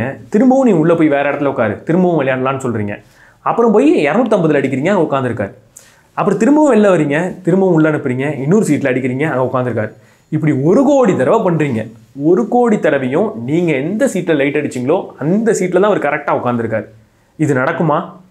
இது நடக்கிறதுக்கு வாய்ப்பே இல்லைன்னு நீங்கள் சொன்னாலும் இது நடக்கும். குவாண்டம் லெவலில் எப்போவுமே இது மட்டும்தான் நடக்கும். ஸோ இப்போ உங்களுக்கு குவாண்டம் இன்டிட்டர்மினன்ஸ்னால் என்னன்னு சொல்கிறேன் ஒரு பொருள் நம்ம எப்போ பார்க்குறோமோ அப்போ தான் அதோட தன்மையை எடுத்துக்குது. ஒரு அப்சர்வர் அதை பார்க்காத வரைக்கும் அது ஒரு வேவாக தான் இருக்குது எல்லா பார்ட்டிகளுக்கும் வேவ் நேச்சரும் இருக்குது பார்ட்டிகல் நேச்சரும் இருக்குன்னு சொல்லியிருந்தேன். ஸோ ஒரு பொருளை எப்போ நம்ம பார்க்குறோமோ அப்போ தான் அது ஒரு பார்ட்டிக்கல் நேச்சர் எடுத்துக்குது. அதுக்கு முன்னாடி வரைக்கும் அது ப்ராபபிலிட்டி வேவ் அப்படின்ற ஒரு வேவ் நேச்சர் தான் எடுத்துக்குது. இப்போது ஒரு தேட்டருக்குள்ளே ஆயிரம் சீட்டில் உட்கார்றதுக்கான ஒரு ப்ராபபிலிட்டி இருக்குது அப்படின்னா அது வேவாக இருக்கிறதுனால ஆயிரம் சீட்லேயுமே இருக்கும் அப்படின்னு சொல்கிறாங்க ஸோ அந்த ஆயிரம் நிலையிலையும் அது இருக்கிறதுனால எந்த ஒரு நிலையை ஒரு அப்சர்வர் பார்க்குறாரோ அது அந்த நிலையில் இருக்குது அதுக்கு அதை நீங்கள் பார்த்ததுக்கப்புறம் மற்ற நிலையில் அது இல்லாமல் போயிடுது அப்படின்னு சொல்கிறாங்க ஸோ ஒரு அப்சர்வர் எப்போ ஒரு குவாண்டம் பார்ட்டிகளை பார்க்குறாரோ அப்போ தான் அதோட நிலை அப்படின்றது டிஃபைன் ஆகுது. அதை பார்க்காத வரைக்குமே அது எல்லா நிலையிலையுமே இருக்குது அப்படின்னு சொல்கிறாங்க ஸோ இப்போ ஸ்க்ரோடிஞ்சர் கேட் உங்களுக்கு புரியும். அதை நம்ம பார்க்காத வரைக்கும் ரெண்டு நிலை இருக்கிறதுக்கான வாய்ப்பு இருந்தனால ரெண்டு நிலையிலையும் இருந்தது. பார்த்தோன்னே ஒரு நிலையை சூஸ் பண்ணிக்குது அப்படின்னு சொல்கிறாங்க ஸோ இது நம்ம இப்போ திரும்ப சிமுலேஷன் ஹைபாத்திசிஸ்க்குள்ளே வருவோம்.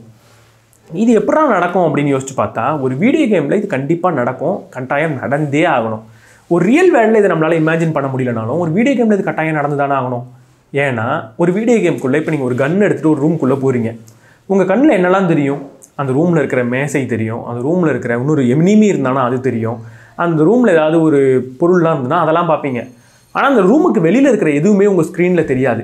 நீங்கள் விஆரில் போனாலும் அந்த ரூம் மட்டும்தான் உங்களுக்கு தெரியும். அதுலேருந்து ஒரு ஒரு கிலோமீட்டர் வெளில இருக்கிற எதுவுமே தெரியாது. ஸோ எதுவுமே தெரியல அப்படின்றப்போ அந்த விஷயங்கள்லாம் அங்கே இருக்கா இல்லையா? ரியல் வேர்ல்டில் நீங்கள் இருக்குன்னு சொல்லுவீங்க. ஆனால் வீடியோ கேமில் இல்லைன்னு சொல்லுவீங்க. வீடியோ கேமில் ஏன் இல்லைன்னா நம்ம எதை பார்க்குறோமோ அதை மட்டும் ரெண்டர் பண்ணால் போகிறோம் மற்ற விஷயத்தெல்லாம் கோடாக வச்சுக்கிட்டா நம்ம ஒரு எஃபிஷியண்ட்டான வீடியோ கேமை உருவாக்க முடியும். நம்ம பார்க்குற விஷயத்தை மட்டும் ரெண்டர் பண்ணால் போகிறோம் அதே மாதிரி தான் நம்மளுடைய ரியல் வேர்ல்டும் இப்போ நடந்துக்கிட்டு இருக்குது ரியல் வேர்ல்ட்லையும் எதுவுமே நம்ம பார்க்காத வரைக்கும் அது வெறும் ஒரு வேவாக இருக்குது எப்போ நம்ம பார்க்குறோமோ அப்போ தான் ஒரு பார்ட்டிக்கலாக மாறுது அப்படின்னு குவாண்டம் ஃபிசிக்ஸ் சொல்லுது. அப்போது இது ரியல் வேர்ல்டா இல்லை ஒரு கம்ப்யூட்டரில் இது ரன் ஆகணும் அப்படின்றதுக்காக யாரோ ஒருத்தவங்க ஆப்டிமைஸ் பண்ணியிருக்காங்களா? எனக்கு என்னமோ இந்த குவாண்டம் ஃபிசிக்ஸில் இந்த ப்ராப்பர்ட்டியை பார்க்குறப்ப ரியல் வேர்ல்டுன்னு சொல்கிறத விட வீடியோ கேம்னு சொல்கிறது கொஞ்சம் ஈஸியாக தோணுது. ஸோ குவாண்டம் இன்டிட்டர்மினன்சி பற்றி பார்த்துட்டோம். அடுத்து குவாண்டம் என்டாங்கிள்மெண்ட் அப்படின்ற ஒரு கான்செப்ட் இருக்குது குவாண்டம் என்டாங்கிள்மெண்ட்னா என்ன? ஸோ புரியறதுக்கு முன்னாடி சொன்ன அதே எக்ஸ்பெரிமெண்ட்டை எடுத்துப்போம். இப்போ நீங்கள் என்ன பண்ணுறீங்க ரெண்டு ஃப்ரெண்டு கிடையாது மூணு ஃப்ரெண்டு ஒருத்தவரை நீங்கள் இப்போ உள்ளே போக வேண்டிய தேட்டருக்குள்ளே அனுப்பிச்சி வச்சிடுறீங்க. இன்னொருத்தவர் என்ன பண்ணுறீங்க ஒரு ஜெட்டில் ஏற்றி பக்கத்தில் இருக்கிற இன்னொரு கேலக்ஸியில் அங்கே ஒரு தேட்டர் இருக்குது அந்த தேட்டருக்குள்ளே அனுப்பிச்சிடுறீங்க. இதில் ஆயிரம் சீட்டு அதுலேயும் ஆயிரம் சீட்டு இப்போ நீங்கள் என்ன பண்ணணும்? உங்கள் பக்கத்தில் இருக்க தேட்டரில் போய் ஒரு சீட்டில் லைட் அடிக்கணும். அந்த சீட்டில் உங்களோட ஃப்ரெண்டு இருக்கணும். ஃப்ரெண்டு முதல் நபர் இருக்கணும். அதே சீட் நம்பரில் அந்த பக்கத்தில் இருக்கிற அந்த கேலக்ஸிலையும் அந்த நம்பரும் இருக்கணும். ரெண்டு பேரும் ஒரே நீங்கள் எந்த சீட்டில் அடிக்கிறீங்களோ அந்த சீட்டில் தான் இருக்கணும். அப்போ நீங்கள் ஒரு கோடி தடவை பண்ணால் ஒரு கோடி தடவையும் இந்த ரெண்டு ஃப்ரெண்டும் நீங்கள் லைட் அடிக்கிற சீட்டில் தான் இருப்பாங்க அப்படின்றதுக்கான ப்ராபபிலிட்டி என்ன? இந்த கேள்வியை கேட்டாலே ரொம்ப முட்டாள்தனமாக இருக்கும். அதுக்கு தான் இந்த வீடியோ ஆனால் எப்போவுமே அப்படி தான் அவங்க இருப்பாங்க. நீங்கள் எந்த சீட் நம்பரில் அடிக்கிறீங்களோ அந்த சீட்டில் தான் முதல் ஃப்ரெண்டும் இருப்பார். பக்கத்து கேலக்சியில் அதே சீட் நம்பரில் தான் ரெண்டாவது ஃப்ரெண்டும் இருப்பார்.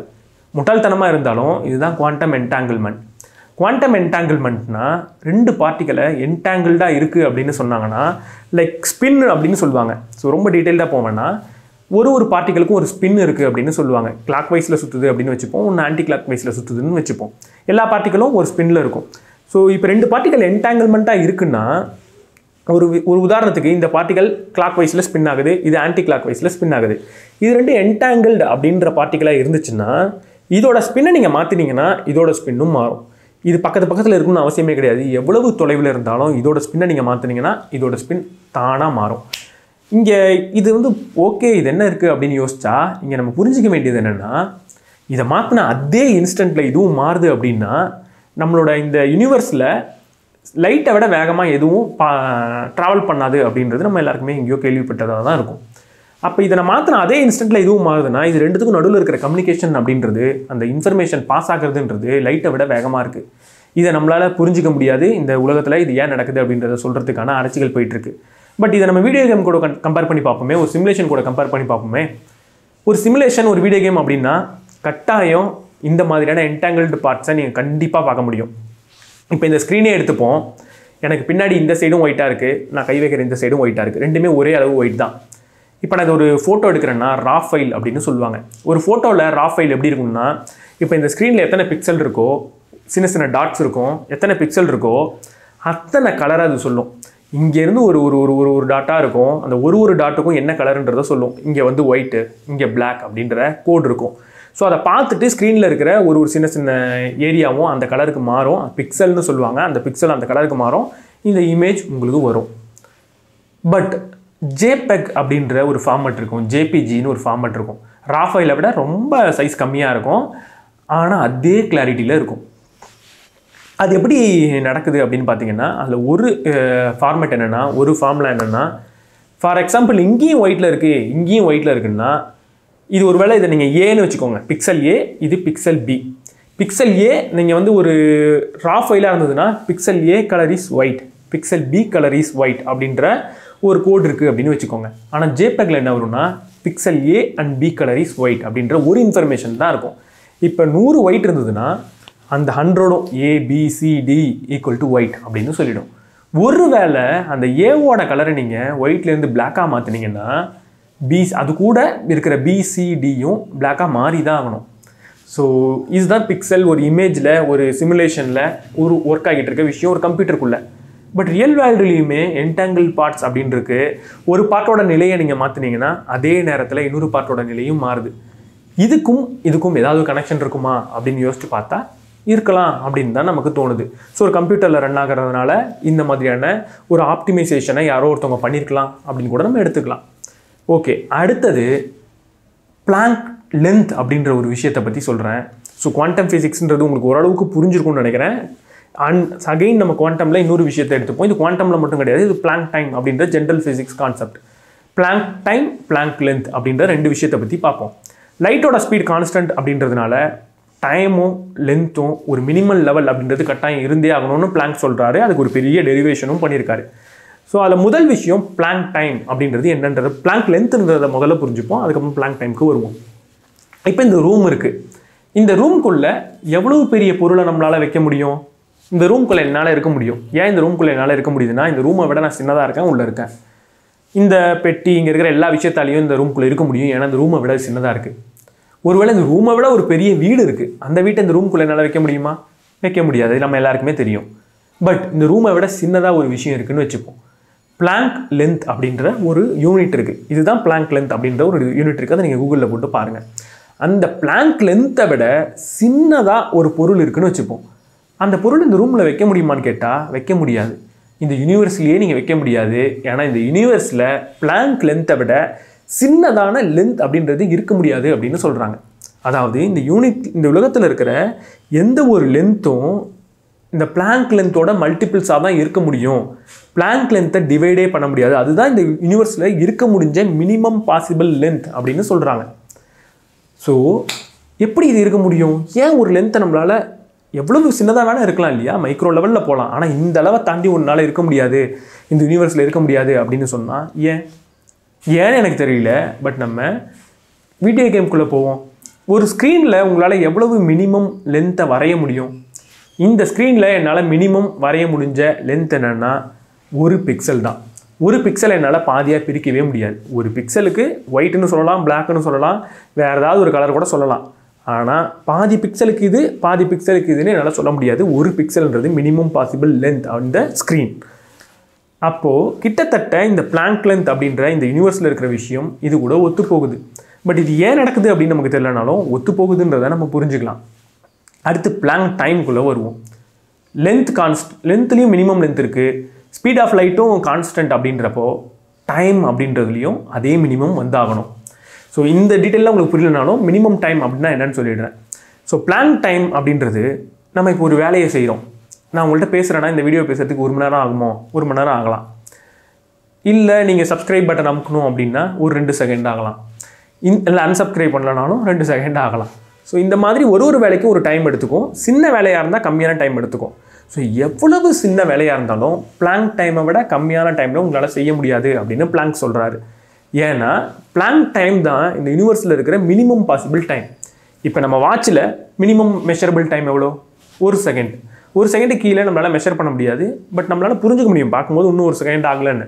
பட் இருந்தாலுமே நம்மளால் புரிஞ்சிக்க முடிஞ்ச மினிமம் டைம் என்னென்னா பிளாங்க் டைம் தான். இந்த யூனிவர்ஸில் அதுக்கு கீழே இருக்கிற டைமை அப்படி ஒரு டைமே இல்லை அப்படின்னு பிளாங்க் சொல்கிறார் ஸோ மினிமம் பாசிபிள் டைம்னு ஏன் இருக்கணும்? அதையும் நம்மளால் டிவைட் பண்ண முடியணும் இல்லையா?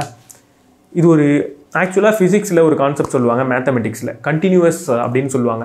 கண்டினியூவஸ்னால் அது சின்ன சின்ன டிஸ்க்ரீட்டாக இருக்கு இல்லாமல் அதில் இருக்கிறது அது எவ்வளவு வேணால் நம்மளால் டிவைட் பண்ண முடியும் அப்படின்றது தான் கண்டினியூஸ் ஆனால் இந்த டைமும் லென்த்தும் கண்டினியூவஸ் கிடையாது. டிஸ்க்ரீட் அப்படின்னு சொல்கிறாங்க மினிமம் பாசிபிள்ன்றது இருக்குது அதால் மல்டிப்ளை ஆகி தான் எல்லாமே இருக்குன்னு சொல்கிறாங்க ஸோ இது ஏன் இப்படி இருக்கணும்? ஒரு கம்ப்யூட்டரில் மினிமம் பாசிபிள் டைம் இருக்கா? கட்டாயம் இருக்குது ஒரு கம்ப்யூட்டர் ஒரு டைமை எப்படி மெஷர் பண்ணும் அதோட ப்ராசஸரில் நடக்கிற ஒரு ஒரு பல்ஸை வச்சு தான் ஒரு ஒரு செகண்டை மெஷர் பண்ணோம். So time minimum measurable time by a computer அப்படின்றது அந்த சிபியூட அந்த ப்ராசஸரோட கிளாக் ஸ்பீடை பொறுத்து தான் இருக்குது இப்போ உதாரணத்துக்கு கிளாக் ஸ்பீட்னா என்ன? ஒரு செகண்டுக்கு ஒரு கம்ப்யூட்டர் எவ்வளவு இன்ஃபர்மேஷனை ப்ராசஸ் பண்ணுதுன்றது தான் கிளாக் ஸ்பீட் அப்படின்னு வச்சுப்போம். இப்போ ஒன் ஹெட்ஸ் அப்படின்னா ஒரு செகண்டுக்கு ஒன்று டூ ஹெட்ஸ்னால் ஒரு செகண்டுக்கு ரெண்டு. இப்போ ஒரு ப்ராசஸர் பத்து ஹெட்ஸில் இருக்குன்னா அதால் ஒரு செகண்டுக்கு பத்து வேலையை தான் பார்க்க முடியும். அப்போது அதை நான் டைமை கவுண்ட் பண்ணுன்னு சொன்னேன்னா ஒரு செகண்டை பத்தால் டிவைட் பண்ணி பத்தாக தான் என்னால் சொல்ல முடியும் அதுக்கு கீழே சொல்ல முடியாது. ஸோ எவ்வளவு ஜிகா ஹெட்ஸில் இருக்கோ அவ்வளவு மினிமம் பாசிபிள் டைம் அது சொல்லும். அப்போது ஒரு கம்ப்யூட்டருக்கும் மினிமம் பாசிபிள் டைம் இருக்குது இந்த ரியல் உலகத்துக்கும் மினிமம் பாசிபிள் டைம் இருக்குது ஸோ இது ரெண்டும் கிட்டத்தட்ட மேட்ச் ஆகுது. ஸோ இந்த மாதிரியான கான்செப்ட் மூலியமாக நம்ம என்ன புரிஞ்சுக்கலான்னா நம்ம உலகத்தில் இருக்கிற நிறைய கான்செப்டை ஒரு கம்ப்யூட்டரை வச்சு நம்மளால் ஈஸியாக எக்ஸ்பிளைன் பண்ண முடியுது. ஆனால் ஆக்சுவல் ஃபிசிக்ஸுக்கு அதுக்கான பதிலை சொல்ல முடியல. அவ்வளோ ரொம்ப கஷ்டப்படுறோம். ஸோ அப்போ நம்ம எதை ஈஸியாக சொல்ல முடியும்? இது ஒரு கம்ப்யூட்டரில் இருக்கிறதுக்கான வாய்ப்பு இருக்குது அப்படின்றத ரொம்ப ஈஸியாக சொல்ல முடியும். அதனால தான் நிறைய பேர் இந்த வாதத்துக்குள்ளேயும் வராங்க. ஓகே அடுத்து நீங்கள் என்கிட்ட கேட்டிருந்த கேள்வி என்னென்னா ஸ்பிரிச்சுவாலிட்டி பற்றி கடவுள் பற்றி நம்ம எல்லா மதத்துலேயும் கடவுள் அப்படின்றவர் நம்மளை உருவாக்குனவர் அப்படின்னு சொல்கிறாங்க அப்படின்னு நான் நினைக்கிறேன். எனக்கு தெரிஞ்ச வரைக்கும். நம்மளை உருவாக்குனவங்க இருக்காங்களா இல்லையா? இப்போ நம்மளால் அதை தெளிவாக சொல்ல முடியாது. அதுக்கான சந்தேகம் இருக்குது அதுக்கான கேள்வி இருக்குது ஆனால் கடவுள்னு ஒருத்தவர் இருக்காருன்னு நிறைய பேர் அடித்து சொல்கிறதுனால அப்போது நம்மளை உருவாக்குனவர் ஒருத்தவர் இருந்தால் நம்ம ஏதோ ஒரு இடத்துல உருவாக்கப்பட்டிருக்கோம். அப்படி உருவாகியிருக்கோம் அப்படின்னா அது கண்டிப்பாக ஒரு சிமுலேஷன் தான். நம்ம எப்போ நம்ம ஒரு விஷயமா உருவாகி வந்திருக்கோமோ அப்போ நம்மளை யாரோ ஒருத்தவங்க உருவாக்கியிருக்காங்க அப்படின்னு அர்த்தம். எப்போ யாரோ ஒருத்தவங்க நம்மளை உருவாக்கியிருக்காங்க அப்படின்னு நம்ம சொல்கிறோமோ அப்போ நம்ம உருவாக்கப்பட்டிருக்கோம். உருவாக்கப்பட்டிருக்கோம் அப்படின்னா ரியாலிட்டியாக இருக்கிறதுக்கான வாய்ப்பு கம்மி சிமுலேஷனாக இருக்கிறதுக்கான வாய்ப்பு அதிகம். ஸோ அகெயின் ரிலிஜியனும் நம்ம ஒரு சிமுலேஷனில் இருக்கோம் அப்படின்றத சொல்லிக்கிட்டே தான் இருக்குது ஸோ ஜஸ்ட் காட் அப்படின்றது இந்த ஒரு கான்செப்டை வச்சு சொல்லலை. நிறைய இதில் வந்து இதெல்லாம் ஒரு மாயை அப்படின்ற வார்த்தையை நம்ம கேள்விப்பட்டிருப்போம். இந்த யூனிவர் இந்த உலகம் அப்படின்றது ஒரு மாயை. இதெல்லாம் நீங்கள் நினைக்கிறது உண்மை கிடையாது. உண்மையை உன்னால் பார்க்க முடியாது அப்படின்ற கான்செப்ட்லாம் ஸ்பிரிச்சுவாலிட்டியில் எக்கச்சக்கமாக வருது. ஸோ வீடியோ கேமும் அதே தான் சொல்லுது சிமுலேஷன் ஹைபாத்திசிஸும் அதே தான் சொல்லுது. அது மட்டும் இல்லாமல் எல்லா ரிலிஜியன்லேயும் ஒரு விஷயம் இருக்குது நீ இறந்து போயிட்டேன்னா நீ எப்படிப்பட்ட வாழ்க்கையை வாழ்ந்த அப்படின்ற எவால்வேஷன் நடக்கும். அந்த எவால்வேஷனை பொறுத்து தான் உன்னோட அடுத்த லைஃப்பில் அடுத்த ஸ்டேஜ் இருக்க போகுது அப்படின்னு சொல்கிறாங்க வீடியோ கேம்லேயும் அதே தான் சொல்கிறாங்க இந்த ஸ்டேஜை முடிச்சதுக்கப்புறம் எப்படி விளையாண்டேன்னு பார்த்து ஸ்கோர் போட்டு அதுக்கப்புறம் அடுத்த ஸ்டேஜை கொடுப்பேன் அப்படின்னு சொல்கிறாங்க ஸோ ரிலிஜியனும் சிமுலேஷன் ஹைபாத்திசிஸும் கூட இங்கே ஒத்து போகுது லைஃப்பில் இருக்கிற நிறைய கான்செப்ட்டுக்கு நிறைய கேள்விகளுக்கு சிமுலேஷன் ஹைபாத்திசிஸ் அப்படின்ற இந்த ஒரு அசம்ஷன் நிறைய விஷய பதிலை சொல்லிக்கிட்டே தான் இருக்குது ஸோ கடவுள் நம்பிக்கை எனக்கு இருக்கா அப்படின்னு கேட்டி கேட்டிங்க. ம், நம்ம சிமுலேஷனுக்குள்ளே இருக்கலாம் அப்படின்ற சந்தேகம் எனக்கு இருக்கிறதுனால கடவுள் இருக்கலாம் அப்படின்ற சந்தேகமும் எனக்கு இருக்குது கடவுள் இல்லை அப்படின்னு என்னால் டைரெக்டாக எப்போவுமே சொல்ல முடியாது அப்படின்ற அறிவு மட்டும் எனக்கு இருக்குது இருக்கலாம் அப்படின்ற பதில் கட்டாயம் என்கிட்டருந்து வரும். ஸோ ஸ்பிரிச்சுவல் ஸ்பிரிச்சுவாலிட்டியில் இன்ட்ரெஸ்ட் இருக்கா அப்படின்னு கேட்டால் நம்ம வீடியோ தொடர்ந்து பார்த்து தான் தெரியும். ஸோ ஸ்பிரிச்சுவாலிட்டி அப்படின்றது கடவுளுக்கு நம்ம செய்கிற வழிபாடோ இல்லை கட நமக்கு எதுவும் நடந்துடக்கூடாது அப்படின்றதுக்காக செய்கிற வழிபாடோ கிடையாது. ஸ்பிரிச்சுவாலிட்டியே கரெக்டாக புரிஞ்சுக்கிட்டோம் அப்படின்னா அது நம்மளோட ஒரு சைக்காலஜிக்கல் பேலன்ஸ்க்கு கட்டாயம் உதவும். நமக்கு சில நம்பிக்கைகள் கொடுக்கும் நம்மளை ஒழுங்காக பர்ஃபார்ம் பண்ண வைக்கும். அதுக்காக ஸ்பிரிச்சுவாலிட்டியை நீங்கள் ஃபாலோ பண்ணலாம்.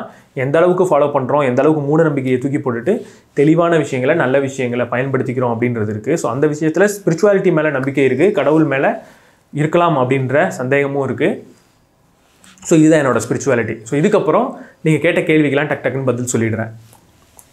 ஸோ புக் டு தமிழ் அப்படின்னு ஒன்று கேட்டிருந்தீங்க. என் நீங்கள் புக் எழுதுவீங்களா? எழுதுனா என்ன ஜெனராக இருக்கும்னு? புக்கு கண்டிப்பாக எழுதுவேன். புக் எழுதுனா எல்லா ஜேர்னல்ஸும் அதில் இருக்கும். லைக் த்ரூ அவுட் தி லைஃப்பில் நான் கற்றுக்கிட்ட விஷயமாக தான் இருக்கும். அது எல்லாமே இருக்கும். ரொம்ப இதே மாதிரி ஒரு கிரேசியான புக்காக தான் இருக்கும். லைக் நம்மளோட செல்ஃப் டெவலப்மெண்ட் சைக்காலஜி எல்லாத்தையுமே கனெக்ட் பண்ணி நான் இப்போ பேசுகிற எல்லா விஷயத்தையும் கனெக்ட் பண்ணி ஒரு புக்காக எழுதணும் அப்படின்னு ஐடியா இருக்குது ஆனால் அது இப்போ கிடையாது. ரொம்ப நாள் கழிச்சு தான்.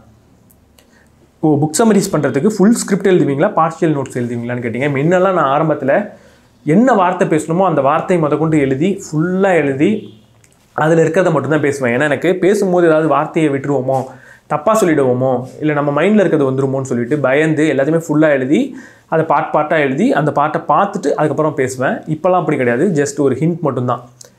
சில சமயம் ஸ்கிரிப்டே இல்லாமல் டேரெக்டாக பேசிடுவேன். சில சமயம் ஸ்கிரிப்டில் ஒரு ஹிண்ட் மட்டும் இந்த பாயிண்ட்லாம் சொல்லிடணுன்றது மட்டும் தான் எழுதுவேன். அடுத்து சதீஷ் முருகன் அப்படின்ற ஒரு கேள்வி கேட்டிருக்காரு. ரீடிங் ஹேபிட் எப்படி வளர்த்துக்கிட்டீங்க? ஃபர்ஸ்ட் புக் என்ன படிச்சீங்கன்னு? ஃபர்ஸ்ட் புக் எனக்கு எக்ஸாக்டாக ஞாபகம் இல்லை. ஏன்னா சின்ன வயசில் நிறைய கதை புக்ஸ் படிச்சிருக்கேன். பட் எனக்கு வந்து ஃபர்ஸ்ட் புக் அப்படின்னு தோன்றது வந்து ப்ளீஸ் இந்த புத்தகத்தை வாங்காதீங்க அப்படின்னு கோபிநாத் ஒரு புக் எழுதியிருந்தார். அதுவா? இல்லை ராபின் சர்மா எழுதின leader who had no title அப்படின்ற அந்த புத்தகமாக அதாவது முடிசூடா மன்னன்னு தமிழில். அந்த ரெண்டு புக்கில் எதுன்றது எனக்கு இப்போ ஞாபகம் இல்லை. அது ரெண்டுத்தில் ஏதோ ஒன்று தான் படித்தேன் அடுத்து தருண் எம் அப்படின்றவர் கேட்டிருந்தார். பதினெட்டு வயசு உங்களோட பையனோ பொண்ணுக்கோ பதினெட்டு வயசுனா எந்த புக்கை ரெக்கமெண்ட் பண்ணுவீங்கன்னு கேட்குறாங்க ஸோ கட்டாயம் நான் இதுக்கு ஆல்ரெடி ஒரு வீடியோ போட்டிருக்கேன். டீனேஜர்ஸ்க்கான புக்ஸ்னு அதில் இருக்கிற எல்லா புக்கும் ரெக்கமெண்ட் பண்ணுவேன். ஆல்கமிஸ்ட்டை ரெக்கமெண்ட் பண்ணுவேன். எனக்கு பிடிக்கலனாலும் ஆல்கமிஸ்ட் அப்படின்ற புக்கை நான் ரெக்கமெண்ட் பண்ணுவேன். ஏன்னா ட்ரீமை விட்டுறக்கூடாதுன்ற ஒரு ரொம்ப முக்கியமான விஷயத்தை அதை சொல்லித்தருது அண்ட் ரிச் டேட் புவர் டேட்டை கட்டாயம் ரெக்கமெண்ட் பண்ணுவேன். ஏன்னா ஒரு ஃபைனான்ஷியல் நாலேஜ் அது கட்டாயம் கொடுக்கும். ஸ்பிரிச்சுவாலிட்டி முக்கியமாக ஃபிலாசபி முக்கியமா அப்படின்னு கேட்டிருக்கீங்க. இது உங்கள் லைஃபுக்கு ஆக்சுவலாக வந்து இது முக்கியமாக அது முக்கியமானா உங்கள் லைஃபுக்கு எது யூஸ் ஆகுதுன்னு நீங்கள் யூஸ் பண்ணி பார்த்து அதை எடுத்துக்கிறது தான். எனக்கு நான் ஃபிலாசபியில் தான் ரொம்ப அதிகமாக ஃபோக்கஸ் பண்ணுறேன் ஸ்பிரிச்சுவாலிட்டி அதுக்காக யூஸ்லெஸ் அப்படின்லாம் சொல்கிறது கிடையாது. அதை ஃபாலோ பண்ணுறவங்களுக்கு கண்டிப்பாக அது யூஸ் ஆகும். பட் நம்ம எதை யூஸ் பண்ணாலும் அதில் வந்து நம்ம பண்ணுறதுனால நமக்கு என்ன பயன் அப்படின்றத மட்டும் பார்த்து அதை பண்ணாலே போகிறோம் ஸ்பிரிச்சுவாலிட்டிலையும் நிறைய நல்ல விஷயங்கள் இருக்குது நிறைய இடங்களில் ஸ்பிரிச்சுவாலிட்டி அண்ட் ஃபிலாசபி ஒத்து தான் போகுது. ஸோ இது ரெண்டையும் பிரிச்சுலாம் பார்க்க தேவையில்ல. எந்த நேரத்துக்கு எது பயன்படுதுன்றது தான் நம்ம எப்போவுமே எடுத்துக்கணும். ஸோ பதில் வந்து உங்களுக்கு இன்ட்ரெஸ்டிங்காக இருக்குமான்னு தெரில ஆனால் இதுதான் உண்மை. எல்லா விஷயத்துலையும் நல்லதும் இருக்கும் கெட்டதும் இருக்கும். நம்ம இருக்கிற சூழலுக்கு எந்த நல்லது தேவை எந்த கெட்டது தேவையில்லைன்னு பார்த்து அதுக்கு தேவையானதை எடுத்துக்கிட்டு தேவையில்லாத தூக்கி போடணும். அதுக்கான ஒரு நல்ல அறிவை தான் நம்ம வளர்த்துக்கணும். நம்மளுடைய லைஃப் ஏன் ரொம்ப ருட்டீனாக இருக்குது அப்படின்னு புகழரசன் அப்படின்றவர் கேட்டிருக்காரு. நம்மளோட லைஃப் ஏன் ருட்டீனாக இருக்குது தினமும் வேலைக்கு போகிறோம் சாயங்காலம் வரோம் வேலைக்கு போகிறோம் சாயங்காலம் வரோம் அப்படின்னு கேட்டிருக்காரு. ஸோ இதுக்கு நான் எதை வச்சு பதில் சொல்கிறதுன்னு தெரியல. ஸோ முதல்ல சொன்ன சிமுலேஷன் ஐபாத்திசிஸை வச்சு யூஸ் யோசிச்சு பார்த்தீங்கன்னா நம்ம எல்லோரும் ஒரு நான் பிளேயிங் கேரக்டர் அதுக்காக தான் உருவாக்கப்பட்டிருக்கோம் சும்மா சுற்றிட்டு இருக்கணும் இந்த ஊரில். நமக்குன்னு ஒரு வேலை இருக்கும் அப்படியே காரில் ஏறி போகணும் காலைல சாயங்காலம் வரணும் டிவி பார்க்கணும் அப்படின்றது சிமுலேஷன் ஐபாத்திசிஸ் இந்த இது வரைக்கும் நான் பேசினதை வச்சு நீங்கள் புரிஞ்சுக்கலாம். இன்னொரு தெ இன்னொரு ஈஸியான ஒரு கிரேசியான ஒரு எக்ஸ்ப்ளனேஷனை சொல்கிறேன் நம்மளோட மூளைக்குள்ளே நிறைய பிரெயின் செல் இருக்கும். இப்போ நம்ம நமக்குன்னு ஒரு கான்ஷியஸ்னஸ் இருக்குது நம்ம தான் நம்ம அப்படின்னு உணர்ந்துக்கிட்டு இருக்கோம். ஆக்சுவலாக நம்ம என்ன? நம்ம எல்லாரும் ஒரு நம்ம எல்லாமே நம்ம வந்து ஒரு நிறைய அணுக்களோட கூட்டமைப்பு தான் நம்மளே. ஆனால் இந்த அணுக்களோட கூட்டமைப்புக்குள்ளே நான் அப்படின்ற ஒரு உணர்வு இருக்குது அப்போ அணுக்களோட கூட்டமைப்புக்குள்ளே அந்த உணர்வுன்றது இருக்கலான்றதை இது நமக்கு சொல்லுது. பிரெயின் செல் அப்படின்றதும் அணுக்களோட கூட்டமைப்பு தான். அப்போ அந்த அதுக்கும் ஒரு கான்சியஸ்னஸ் இருந்தால் எப்படி இருக்கும்? ஒருவேளை இருக்குன்னு நம்ம அசீவ் பண்ணிப்போமே அதுக்கு இருக்கா இல்லையான்றது நமக்கு தெரியாது. அதை கண்டுபிடிக்கிறதுக்கான வாய்ப்பும் ரொம்ப கம்மி. ஆனால் இருக்குன்ற இருக்கிறதுக்கான வாய்ப்பு இருக்குது அப்படின்றதுனால இருக்குன்ற ஒரு அசம்ஷனை பண்ணிவிட்டு யோசிச்சு பார்ப்போமே. இப்போ அந்த பிரெயின் செல்லுக்கிட்ட போய் நீங்கள் கேட்குறீங்க ஏ நீ ஏன் இங்கேருந்து அங்கே ஓடுற? ஏன் எலக்ட்ரிக்கல் பல்ஸ் அனுப்புகிற திடீர்னு ஏன் வந்து ஏஜ் ஆகி கீழே விழுந்துடுற? புதுசாக ஒன்று வருதே? புதுசாக ஒரு செல் உருவாகுதே? அப்படின்னு கேட்டால் இதுதான் வாழ்க்கை அப்படின்னு சொல்லும். ஆனால் அது அப்படி செய்கிறதுக்கு காரணம் இந்த மனிதனை நான் அப்படின்னு நினச்சிக்கிட்டு இருக்கேன் இந்த பெரிய மனிதனை ரன் பண்ண வைக்கிறதுக்கு தான். என்னை வந்து சந்தோஷப்படுத்துறதுக்கோ அள வைக்கிறதுக்கோ கோவப்பட வைக்கிறதுக்கோ இல்லை நான் நிம்மதியாக இருக்கிறதுக்கோ இல்லை நான் உயிரோட இருக்கிறதுக்கோ இதுக்காக தான் அந்த செல் எல்லாமே ஓடிக்கிட்டு இருக்கு. ஒருவேளை அதுக்கு கான்ஷியஸ் இருந்தால் அதுக்கிட்ட போய் கேட்டால் நான் எதுக்கு ஓடுறேன்னா இதான் என் வாழ்க்கை. எதுக்கு ஓடுறேன்னே எனக்கு புரியலையே. எதுக்கு நான் காலைல நான் எந்திரிக்கணும் ஓடணும் அப்படின்னு அது கேட்கும் அதே மாதிரி தான் இப்போ நீங்களும் கேட்குறீங்க ஸோ இதோட பதிலை நம்ம டைரெக்டாக புரிஞ்சிக்க முடியுமான்றது ரொம்ப ரொம்ப கஷ்டம். ஆனால் அதுக்காக தான் நம்ம டிசைன் பண்ணப்பட்டிருக்கோம். ஸோ அதுக்காக ஓடணும். மேபி ஒரு பெரிய ஒரு நம்மளை விட ஒரு பெரிய ஆர்கனிசமோட ஒரு ஒர்க்கிங்காக நம்ம இதை செய்யலாம் அப்படின்னு கூட எடுத்துக்கலாம்.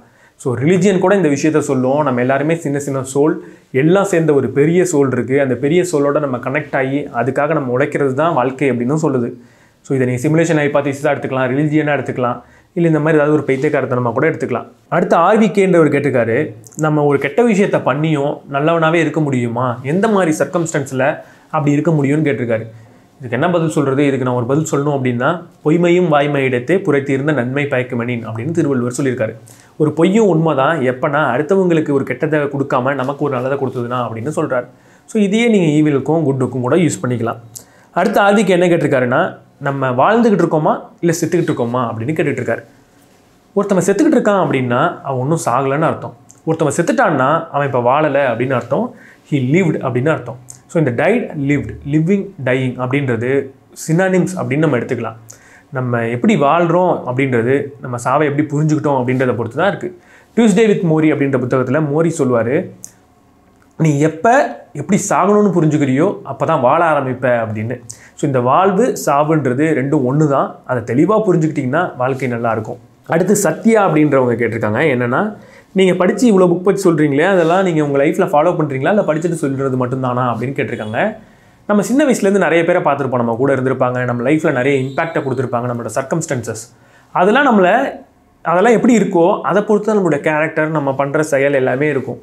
ஸோ நான் இப்படிப்பட்ட ஒரு சர்க்கம்ஸ்டன்ஸில் வாழ்ந்தேன். ஆனால் இதை தான் நான் செய்கிறேன் அப்படின்னா அது வாய்ப்பே கிடையாது. ரொம்ப கஷ்டம். ஸோ நம்மளோட சர்க்கம்ஸ்டன்சஸ் நம்ம எப்படி பார்க்குறோம் எப்படி படிக்கிறோம் என்ன பேசுகிறோன்றதை பொறுத்து தான் யார்கிட்ட பழகிறோன்றதை பொறுத்து தான் அட்லீஸ்ட் அதை பொறுத்து கொஞ்சமாவது நம்ம லைஃப்பில் இருக்கிற கேரக்டர் அப்படின்றது இருக்கும். அதே மாதிரி தான் நம்ம எவ்வளோ புக் படிக்கிறோமோ அதை பொறுத்து அதோட இம்பேக்ட் அப்படின்றது நம்ம லைஃப்பில் இருக்கும். புக்கு ஃபுல்லாக படிச்சுக்கிட்டே இருந்துட்டு கெட்டவனாகவே இருக்கணுன்றது ரொம்ப கஷ்டம். அது ஒரு சைக்காலஜிக்கல் டிசார்டர் இருந்தால் மட்டும்தான் ஒரு சைக்கோவாக இருந்தால் தான் முடியும். அது இல்லாமல் ஒரு நார்மலான மனுஷனாக இருந்து ஒரு நூறு புக்கு படிக்கிறோம் அப்படின்னா அதில் படித்தது எங்கேயாவது நம்ம லைஃப்பில் அங்கங்கே வந்து போயிட்டு தான் இருக்கும். ஸோ ஃபாலோ பண்ணாமல் இருக்கவே முடியாது. ஹண்ட்ரட் பர்சன்ட் ஃபாலோ பண்ணியும் இருக்க முடியாது. ஸோ எல்லாருமே அப்படி தான் விஜய் அப்படின்றவர் கேட்டிருக்காரு நம்ம லைஃப்பில் பர்பஸ் இருக்கா? கடவுளை நீங்கள் நம்புறீங்களான்னு. கடவுளுக்கு ஆல்ரெடி ஒரு பதில் சொல்லிட்டேன். சிமுலேஷன் ஐபாத்திசிஸை நம்பினா நம்மளை உருவாக்குனவர் தான் கடவுள். இல்லை நீங்கள் நான் இன்னொன்று சொன்னேனே இந்த பிரெயின் செல் பற்றி ஒரு கான்ஸ்பிரசி மாதிரி. அது உங்களுக்கு நம்புனீங்கன்னா நீங்கள் ஒர்க் ஆகுறதுனால தான் கடவுள் உயிரோடு இருக்காரு. இல்லை இதெல்லாம் இல்லைன்னா நமக்கு நிறைய கடவுள் பற்றின நம்பிக்கை இருக்குது இருக்காரு இல்லை அப்படின்ற நம்பிக்கையெல்லாம் இருக்குது பட் நம்ம இவ்வளவு வளர்ந்ததுக்கப்புறம் சயின்ஸில் இவ்வளவு மாற்றத்தை பார்த்ததுக்கப்புறம் பூமியை சூரியன் சுற்றுதுன்னு சொல்லி சூரியனை பூமி சுற்றுதுன்னு சொல்லி ஸ்பேஸ் டைம் எல்லாம் பார்த்ததுக்கப்புறம் நமக்கு தெரிஞ்ச ஒரே விஷயம் என்னென்னா நம்ம ஒரு பாயிண்ட் ஆஃப்ல டைமில் சொல்கிற எல்லாமே உண்மையாக இருக்கணுன்ற அவசியம் கிடையாது. அது மாறிக்கிட்டே தான் இருக்கும். இல்லைனா உண்மையை நம்ம எப்போவுமே சொல்லாமல் போகிறதுக்கான வாய்ப்பு கூட இருக்குது அப்படின்றது தான். ஸோ அதனால கடவுள் பற்றின ஒரு ஃபிக்ஸட் பிலீஃபை என்றைக்குமே நம்ம எடுத்துக்கக்கூடாது அவர் இருக்காருன்றதா இருக்கட்டும் அவர் இல்லைன்றதா இருக்கட்டும் அவர் இப்படி தான் இருக்காருன்றதா இருக்கட்டும் அவருக்கு இது செஞ்சால் தான் பிடிக்குன்றதா இருக்கட்டும் இது எதுவுமே இதுதான் அப்படின்ற சொல்கிறதுனா அது கண்டிப்பாக முட்டாள்தனம் தான். அது அப்படி தான் இருக்கணுன்ற அவசியமே கிடையாது. இருக்கலாம் இல்லாமல் போகலாம் எப்படி வேணால் இருக்கலாம். ஸோ நம்ம என்ன பண்ணணும்னா நமக்கு இருக்குது அப்படின்றத நம்பினா நம்ம லைஃபுக்கு நல்லதா இல்லைன்றதை நம்பினா நமக்கு நல்லதா அப்படின்ற தனிப்பட்ட முடிவை நம்ம எடுத்துக்கணும். அப்படி பார்த்தா எனக்கு நான் முன்னாடி சொன்னது தான் கடவுள் இல்லை அப்படின்னு என்னால் என்றைக்குமே சொல்ல முடியாது. இருக்காரோ அப்படின்ற சந்தேகம் தான் இருக்குது இருக்காரோன்னு என்னால் சொல்ல முடியாது. இருக்கலாமோ? ஏன்னா இவ்வளோ தேரி சொன்னால இல்லை ஏதாவது ஒன்று உண்மையாக இருந்தால் இருக்கலாம். இல்லை வேறு ஃபார்மாக கூட இருக்கலாம். நமக்கு புரியாத ஃபார்மாக இருக்கலாம். இப்போ ஒரு அமீபாவோ ஒரு பாக்டீரியாவோ எடுத்துக்கிட்டிங்கன்னா அது ரொம்ப ஒரு டூ டைமென்ஷனலாக தான் இருக்கும். அதை ஒரு ஒரு இடத்துல ஒரு டூ டூ டி சர்ஃபேஸில் தான் அதால் இருக்க முடியும். அதால் த்ரீ டி சர்ஃபேஸ்க்கு வரவே முடியாது. டூ டி சர்ஃபேஸ்லேயே இருக்கிற அதுக்கிட்ட போய் த்ரீ டி சர்ஃபேஸை பற்றி பேசணும். ஹைட்டுன்னு ஒன்று இருக்குது அப்படின்னு சொன்னோம்னா அதெல்லாம் புரிஞ்சிக்கவே முடியாது. ஸோ நம்மளாலையும் மேபி அப்படி நிறைய விஷயங்கள் புரிஞ்சிக்காமல் இருக்கிறதுக்கான வாய்ப்பு இருக்குது அப்படின்னு நம்ம புரிஞ்சுக்கணும். அப்படிப்பட்ட வாய்ப்பு இருக்குது அப்படின்றப்போ நம்ம ரொம்ப தலகணத்தோட இதுதான் உண்மை. இருக்காருன்னு சொல்லக்கூடாது இல்லைன்னு சொல்லக்கூடாது. இருக்கலாம். ஸோ உங்களுக்கு எது சரின்னு தோணுதோ எப்படி இருக்குன்னு தோணுதோ உங்கள் லைஃபுக்கு எது நல்லதோ அடுத்தவங்களுக்கு கெட்டது பண்ணாமல் எது உங்களுக்கு சூட் ஆகுதோ அதை நீங்கள் எடுத்துக்கலாம். அதை தப்பே கிடையாது. அப்படி எனக்கு நான் சொன்னது தான் எனக்கு இருக்குது நம்ம லைஃபோட பர்பஸும் அதுதான். இப்போ ஆல்ரெடி நான் அந்த பாட்டிலே சொல்லியிருப்பேன் அப்படின்னு நினைக்கிறேன். லைஃபோட பர்பஸை நீங்கள் எப்படி வேணால் எடுத்துக்கலாம். நம்ம ஏன் பிறந்தோம்? மணி யூனிக் க்ளூரல் அப்படின்றதும் கேட்டிருக்காரு. நம்ம ஏன் பிறந்தோம்? நமக்கு இல்லை நமக்கு பர்பஸ் இருக்கா? அப்படின்னு கேட்டிருக்காரு. சும்மா எல்லாரும் சொல்கிற மாதிரி அடுத்தவங்களுக்கு அச்சீவ் சம் அடுத்தவங்களுக்கு வந்து சப்போர்ட் பண்ணுறது அச்சீவ் பண்ணுறதுலாம் சொல்லாதீங்க அப்படின்னு சொல்கிறாரு அப்போ அப்படிலாம் சொல்லாமல் ரொம்ப காம்ப்ளெக்ஸான கேள்விக்கு எப்போவுமே பதில் சிம்பிளாக தான் இருக்கும் அப்படின்னு ஜேடி ஜே கிருஷ்ணமூர்த்தி சொல்லியிருக்காரு. லைக் ஒரு காம்ப்ளெக்ஸான கேள்விக்கு பதில் சொல்லணும்னா சிம்பிளாக யோசிங்க அப்படின்னு சொல்லியிருக்காரு. அப்படி சிம்பிளாக யோசிச்சு பார்த்தோம்னா நம்ம ஏன் பிறந்தோம்? நம்ம அப்பா அம்மா நம்மளை பிறக்க வைக்கணும் ஒரு குழந்தைய வளர்க்கணும்னு ஆசைப்பட்டதாக இருக்கலாம். இல்லை ஒரு குழந்தை வேணாம்னு அவங்க நினைக்கிறப்ப அதை ஒழுங்காக புரிஞ்சுக்கணும்னு நினைக்கிறேன். அந்த மாதிரி ஆக்சிடெண்டெல்லாம் கூட நம்ம பிறந்திருக்கலாம். ஸோ அவ்வளோதான் நம்ம பிறந்ததுக்கு அதுதான் காரணம். யார் ஒருத்தவங்க நம்ம பிறக்க வைக்கணும்னு முடிவு பண்ணிட்டாங்க பிறந்துட்டோம். இல்லை பிறக்க வேணாம்னு நினைக்கிறப்ப அதை ஒழுங்காக அவங்களால சே காப்பாற்றிக்க முடியல பிறந்துட்டோம். பட் பிறந்ததுக்கப்புறம் லைஃப்பில் பர்பஸ் இருக்கான்னு கேட்டால் இருக்கலாம் அப்படின்னு சொல்லலாம். பட் ஆனால் பர்பஸ் இருந்தால் லைஃப் ஜாலியாக இருக்கும். நம்ம பிறந்துட்டோம் இதுக்கப்புறம் என்ன பண்ணுறது உடனே கழுத்து அறுத்துக்க முடியுமா? பண்ண முடியாதுல்ல. அப்போ வாழ்ந்து தான் ஆகணும். அப்போ வாழணும்னா ஒரு வாழ்க்கையை சந்தோஷமாக நடத்துறதுக்கு என்ன பண்ணணும்னு நிறைய சைக்காலஜிஸ்ட் யோசிச்சிருக்காங்க. நம்ம மூளைன்னு ஒன்று உருவாயிடுச்சு. அதில் எமோஷன் ஒன்று உருவாயிடுச்சு. வேறு வழி கிடையாது. சந்தோஷமாக தான் இருந்தாகணும். நம்மளை நம்ம துன்புறுத்திக்க முடியாது. அப்போ நம்ம என்ன பண்ணலாம்? பர்பஸ்னு ஒன்று எடுத்துக்கிட்டு தான் ஆகணும். பர்பஸ் எப்போ புரிஞ்சுப்போம்? நம்ம எதுக்காக சாக தயாராக இருக் தயாராக இருக்கோமோ அதுக்காக தான் நம்ம வாழ முடியும் அப்படின்னு விக்டர் ஃப்ராங்கல் சொல்கிறார் ஸோ எதுக்காக நீங்கள் சாவீங்கன்னு யோசிச்சு பாருங்களேன் உங்களுக்கு பதில் கிடைக்கும். இதை பாசிட்டிவாகவும் யோசிக்கலாம் நெகட்டிவாகவும் யோசிக்கலாம். என் குடும்பத்துக்காக நான் உயிரையும் கொடுப்பேன் அப்படின்னு சொன்னீங்கன்னா உங்களோட குடும்பம் தான் உங்களுடைய பர்பஸ் அதுக்காக தான் நீங்கள் வாழணும். இந்த ஒரு நாட்டுக்காக நான் என் உயிரையும் கொடுப்பேன்னா அதுதான் உங்கள் பர்பஸ் இல்லை சில சமயம் இப்படி இருக்கும். எக்ஸாமை பார்த்தா பயமாக இருக்குது நான் உயிரே கொடுக்க போகிறேன்னு சொன்னால் அதுதான் பர்பஸ் ஆனால் இங்கே எப்படி பார்க்கணுன்னா அந்த எக்ஸாமை பாஸ் பண்ணுறது தான் உங்களோட பர்பஸ்னு பார்க்கணும். ஸோ எதுக்காக சாக தயாராக இருக்கீங்களோ அதுதான் வாழ்க்கையோட பர்பஸ் அப்படின்றத நீங்கள் எடுத்துக்கலாம். பிறந்ததுக்கும் காரணம் சொல்லியாச்சு. கடவுள் எப்படி உருவானார் அப்படின்னு பாரத் ஏ கேட்டிருக்காரு. எதுக்கு என்கிட்ட கடவுளாகவே கேட்குறீங்க கடவுளாக தான் சொன்னேன்னா கடவுள் எப்படி உருவானார் அப்படின்னு கேட்டிங்கன்னா நம்மளை கடவுள் உருவாக்கி இருந்தாருன்னா அவர் எப்படி உருவானார்ன்றதை நம்மளால கண்டுபிடிக்க முடியாது. அதை புரிஞ்சுக்கிறதுக்கான வாய்ப்பு ரொம்ப கம்மி. நம்ம கடவுளை உருவாக்கியிருந்தோம்னா நமக்கு ஏதோ ஒரு தேவை இருந்திருக்கலாம். அதுக்காக உருவாக்கியிருப்போம். ஒன்று அந்த தேவை வந்து ஒரு மன நிம்மதியாக இருக்கலாம். அதை நீங்கள் அப்படி நம்பினீங்கன்னா அப்படி. இல்லை அடுத்தவனை ஏமாற்றி பிழைக்கிறதுக்கா அப்படின்னு நீங்கள் நினச்சிங்கன்னா அப்படி நம்பினீங்கன்னா அப்படி. ஸோ எப்படி வேணால் இருக்கலாம். ஸோ எப்படி நம்ப போகிறீங்க அப்படின்றது உங்கள் கையில் தான் இருக்குது பாசிட்டிவாக நம்புங்க. நல்லா தான் இருக்கும். யாருமே வந்து எல்லாருமே மோசமானவங்களும் கிடையாது. எல்லாருமே நல்லவங்களும் கிடையாது. எல்லா மன எல்லாருக்குள்ளேயுமே கெட்டதும் இருக்கும் நல்லதும் இருக்கும். ஸோ நல்லதை நம்ம பார்த்துட்டா நல்லது. ஸோ கடவுள் எப்படி உருவானார் அப்படின்ற கேள்விக்கு இதுதான் பதில் என்னால் சொல்ல முடியும். அடுத்து சபரிமணி பீன்றவர் ஒரு கேள்வி கேட்டிருக்காரு.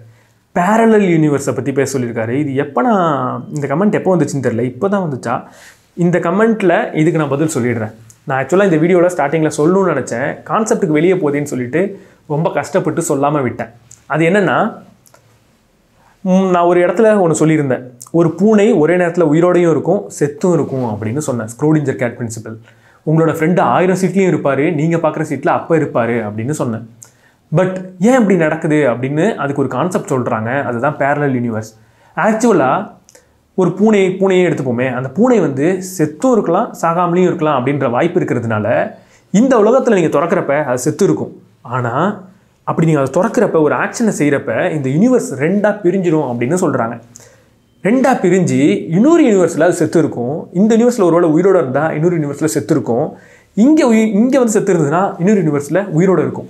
இப்படி ரெண்டாக பிரிஞ்சிடும் எத்தனை வாய்ப்பு ஒரு ஒரு செயலுக்கு எத்தனை ப்ராபபிலிட்டி இருக்கோ அத்தனையும் நடக்கும். ஒரு ஒரு யூனிவர்ஸாக பிரிஞ்சு நடக்கும் அப்படின்னு சொல்கிறாங்க இப்படி பிரிஞ்சு போகிறது தான் பேரலர் யூனிவர்ஸ் அப்படின்னு சொல்கிறாங்க இப்போ நான் இங்கே உங்கள்கிட்ட உட்காந்து பேசிகிட்டு இருக்கேன்னா என்றைக்கோ ஒரு நாள் நான் ஒரு கொலை கூட பண்ணியிருக்கலாம் அது பண்ணக்கூடாது அப்படின்னு சொல்லி நான் இங்கே வந்து உங்கள்கிட்ட பேசிகிட்டு இருக்கேன்னா இன்னொரு யூனிவர்ஸில் அந்த கொலையை பண்ணிவிட்டு ஜெயிலில் உட்காந்துருக்கலாம் அப்படி என் வாழ்க்கையில் நான் பண்ண பண்ண முடிஞ்ச எல்லா செயலையுமே நான் பண்ணிக்கிட்டு தான் இருக்கேன். அந்த எல்லா செயலும் ஒரு ஒரு யூனிவர்ஸை உருவாக்கிட்டு இருக்கு அப்படின்னு பேரலல் யூனிவர்ஸ் அப்படின்னு சொல்கிறாங்க இது ஒரு நல்ல கான்செப்டாக இருக்கும். இதை இதை நீங்கள் புரிஞ்சுக்கணுன்னா everything everywhere all at once அப்படின்ற ஒரு புக் ஒரு படம் இருக்குது அது கூட பாருங்கள் நிறைய இருக்குது இந்த பேரலல் யூனிவர்ஸ் பற்றி நிறைய கான்செப்ட் இருக்குது டிஸ்கவரி சேனலில் ஒரு டாக்குமெண்ட்ரி சின்ன வயசில் பார்த்தா அது இப்போ தான் புரியுது. அந்த மாதிரி நிறைய இருக்குது இதான் பேரலல் யூனிவர்ஸ் அப்படின்னு சொல்லுவாங்க. நான் இப்போ தான் காலேஜில் அதே ஆள் தான் கேட்டிருக்காரு சார் நான் இப்போ தான் காலேஜில் வந்து சேர்ந்துருக்கேன். காலேஜில் என் நாலேஜை வந்து ஃபுல்ஃபில் பண்ணுறதுக்கு நான் என்ன பண்ணணும் அப்படின்னு கேட்குறாரு. நாலேஜை ஃபுல்ஃபில் பண்ணும் அப்படின்ற ஒன்று சொன்னீங்கல்ல அது மேலே நீங்கள் ஆர்வமாக இருக்கணும். எக்ஸாமுக்காகவோ மற்ற எதுக்காகவும் படிக்காமல் என்னோட நாலேஜை வளர்த்துக்கணும் அப்படின்ற ஒரு ஆர்வத்தில் படிங்க. மேபி இது வரைக்கும் நீங்கள் ஒருவேளை ஒழுங்காக படிக்காத ஒரு ஆளாக இருந்தீங்கன்னா காலேஜில் படிக்கிறது புரியாமல் இருக்கும். ஸோ டீப் ஸ்டடி பண்ணி அந்த பேசிக்ஸ் எல்லாம் புரிஞ்சுக்கணும்னு கொஞ்சம் ஆர்வமாக ஜாலியாக பண்ணுங்கள் டெய்லி ஒரு ஒன் ஆர் டூ ஹவர்ஸ் ஜாலிக்காக மட்டுமே படிங்க. உங்களோட காலேஜ் டேஸ் நல்லா க்ரோத்தாக இருக்கும். அப்புறம் கேவை பரத்னு ஒன்று கொடுத்துருக்காரு.